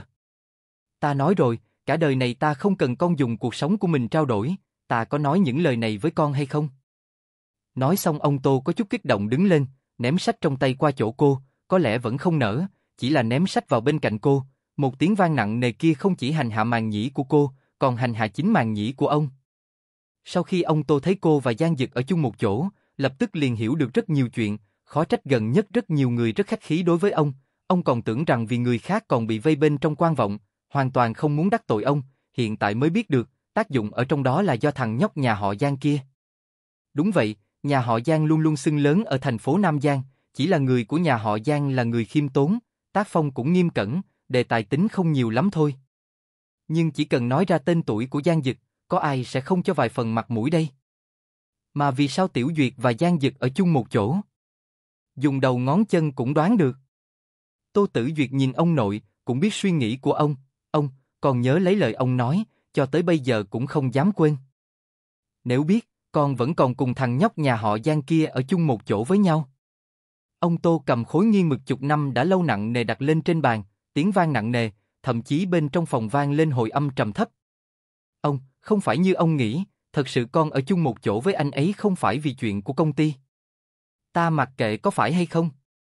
Ta chỉ muốn con nhớ, dù ông chết ở trên thương trường, cũng không cần cháu gái của mình tự dùng bản thân để cứu công ty, còn có nghe thấy không? Tô Tử Duyệt gật đầu, ông đừng tức giận, chính là con sợ ông tức giận, nên mới không dám nói cho ông biết. Ông suy nghĩ nhiều rồi, con thật sự không giống như suy nghĩ của ông. Ta không muốn nghe con nói những thứ này. Chuyện của công ty, ta tự xử lý, mấy ngày nay con đợi ở trong nhà cho ta. Tô Tử Duyệt thức thời ngậm miệng, cô biết cô nói nhiều hơn nữa đều không có tác dụng, một khi chuyện ông quyết định, tuyệt đối sẽ không sửa đổi. Giống như Tô Mặc Xuyên cha cô lúc trước, ông nói chia rẽ liền chia rẽ, tuyệt đối không nghe lời nói cầu tình. Cô cũng đã lĩnh giáo sự cố chấp của ông rồi, cô không có cảm thấy bất đắc dĩ, thậm chí cảm thấy rất tốt, vẫn là ông của nhiều năm trước, bất kể đối mặt khó khăn như thế nào, cũng dám chịu khó tiến lên. Ông rời đi trước, lúc này cô mới từ từ đứng dậy, chân đều quỳ đến chết lặng, đã thật lâu chưa từng quỳ như vậy. Khi còn bé, hình như mẹ cũng đã cho cô quỳ một lần, bởi vì cô không cẩn thận đi trộn đậu phộng mẹ nấu, làm cả bàn đậu phộng đều đổ trên đất, mẹ trực tiếp phạt cô quỳ xuống. Khi đó cô liền thành thật quỳ xuống, một mình quỳ một ngày một đêm, vẫn là ông phát hiện, ôm cô, chân cô đã sớm không có tri giác, từ đó về sau, ông tự mình chăm sóc cô. Chuyện ông đã quyết định, ai nói đều không có tác dụng. Những ngày qua cô đều ngoan ngoãn đợi ở trong nhà, cũng không dám ra cửa, chỉ sợ sẽ làm ông tức giận, mà ông vẫn đi sớm về trễ như cũ, trên mặt luôn hiện ra vẻ mệt mỏi, vì vậy, cô lại không dám khiến cho ông tức giận. Mấy ngày sau, ông Tô và Giang Dực gặp mặt một lần. Ông Tô nhìn người trẻ tuổi ngồi đối diện với mình, người này làm việc không lộ ra trước mặt người khác, lại cẩn thận đến quá đáng, nếu không sẽ không làm sản nghiệp nhà họ Giang to lớn đến thế, hơn nữa thực lực hùng hậu. Không phải ông Tô đề cao chí khí người khác, mà thực tế ông nhận thấy rõ ràng, sợ rằng người nhà họ Giang sẽ cho rằng công ty nhỏ của nhà họ Tô căn bản cũng không hợp thời, chỉ là người như thế, lại coi trọng ích lợi hơn. Không biết ông Tô gọi vãn bối tới vì chuyện gì? Giang Dực nhìn hơi nóng cà phê bốc lên trước mắt, ánh mắt ông Tô nhìn về phía mình, không có một chút thiện cảm, anh cũng chỉ có thể chịu khó tiến lên. Ta tới nơi đây, chỉ là muốn nói cho Tổng Giám đốc Giang một câu nói. Vạn bối rửa tai lắng nghe. Mặc dù nhà họ Tô ta không giống như trước, thậm chí nguy cơ từng bước, nhưng ta không bán cháu gái. Cả người Giang Dực dừng lại, ánh mắt khẽ biến hóa nhìn về phía ông Tô, chỉ là trên mặt anh có vài tia cười, có lẽ giám đốc Tô đã hiểu lầm tôi, giữa cháu và Tiểu Duyệt, tuyệt đối không phải như giám đốc Tô nghĩ, một năm trước đây chúng cháu đã ở cùng nhau. Anh cố ý nói ra thời gian này, khiến ông Tô tin tưởng, giữa bọn họ không có dính đến lợi ích. Nói như vậy, đây là các ngươi yêu nhau thật lòng hả? Trên khuôn mặt già nua của ông Tô lộ ra ý cười châm chọc. Giang giật gật đầu. Ông Tô ha ha nở nụ cười, vậy xem ra ta phải làm gậy đánh uyên ương. Giang giật biết ông Tô cố chấp, nhưng không biết ông lão này cố chấp như thế, giám đốc Tô đây là muốn gì? Nếu như là chuyện của công ty, chúng ta có thể nói chuyện. Sắc mặt già nua của ông Tô càng lạnh hơn, thằng nhóc này tưởng rằng ông lấy bản thân cháu gái làm lợi thế để cứu vớt công ty, xem ra trí nhớ tổng giám đốc Giang không tốt lắm, ta nói rồi ta không bán cháu gái. Một khi đã như vậy, giám đốc Tô cần gì phải? Ta sẽ khiến cho Tiểu Duyệt không ở cùng với cậu. Ông Tô đứng dậy, gọi bồi bàn đến trả tiền, cái này ta tính là trưởng bối mời cậu. Giang Dực cũng đã nhìn ra, ông Tô nghiêm túc, vì vậy cũng đứng dậy, giám đốc Tô, ông đây là... Ông Tô lạnh lùng nhìn anh, mặc dù ta già đến mắt mờ, cũng không hồ đồ, đừng cho là ta không biết cậu và Hạ Gia có điểm mờ ám. Tập truyện đến đây là kết thúc, cảm ơn các bạn đã theo dõi và ủng hộ kênh Radio Ngôn Tình. Nếu bạn thích bộ truyện này, hãy nhấn nút like, share và đăng ký kênh để nghe thêm nhiều bộ truyện hay khác nhé. Bạn cũng có thể xem thêm những bộ truyện khác, được cập nhật liên tục, hàng ngày trên kênh của mình ở phần danh sách phát. Chúc các bạn một ngày vui vẻ và hẹn gặp lại ở những tập truyện tiếp theo.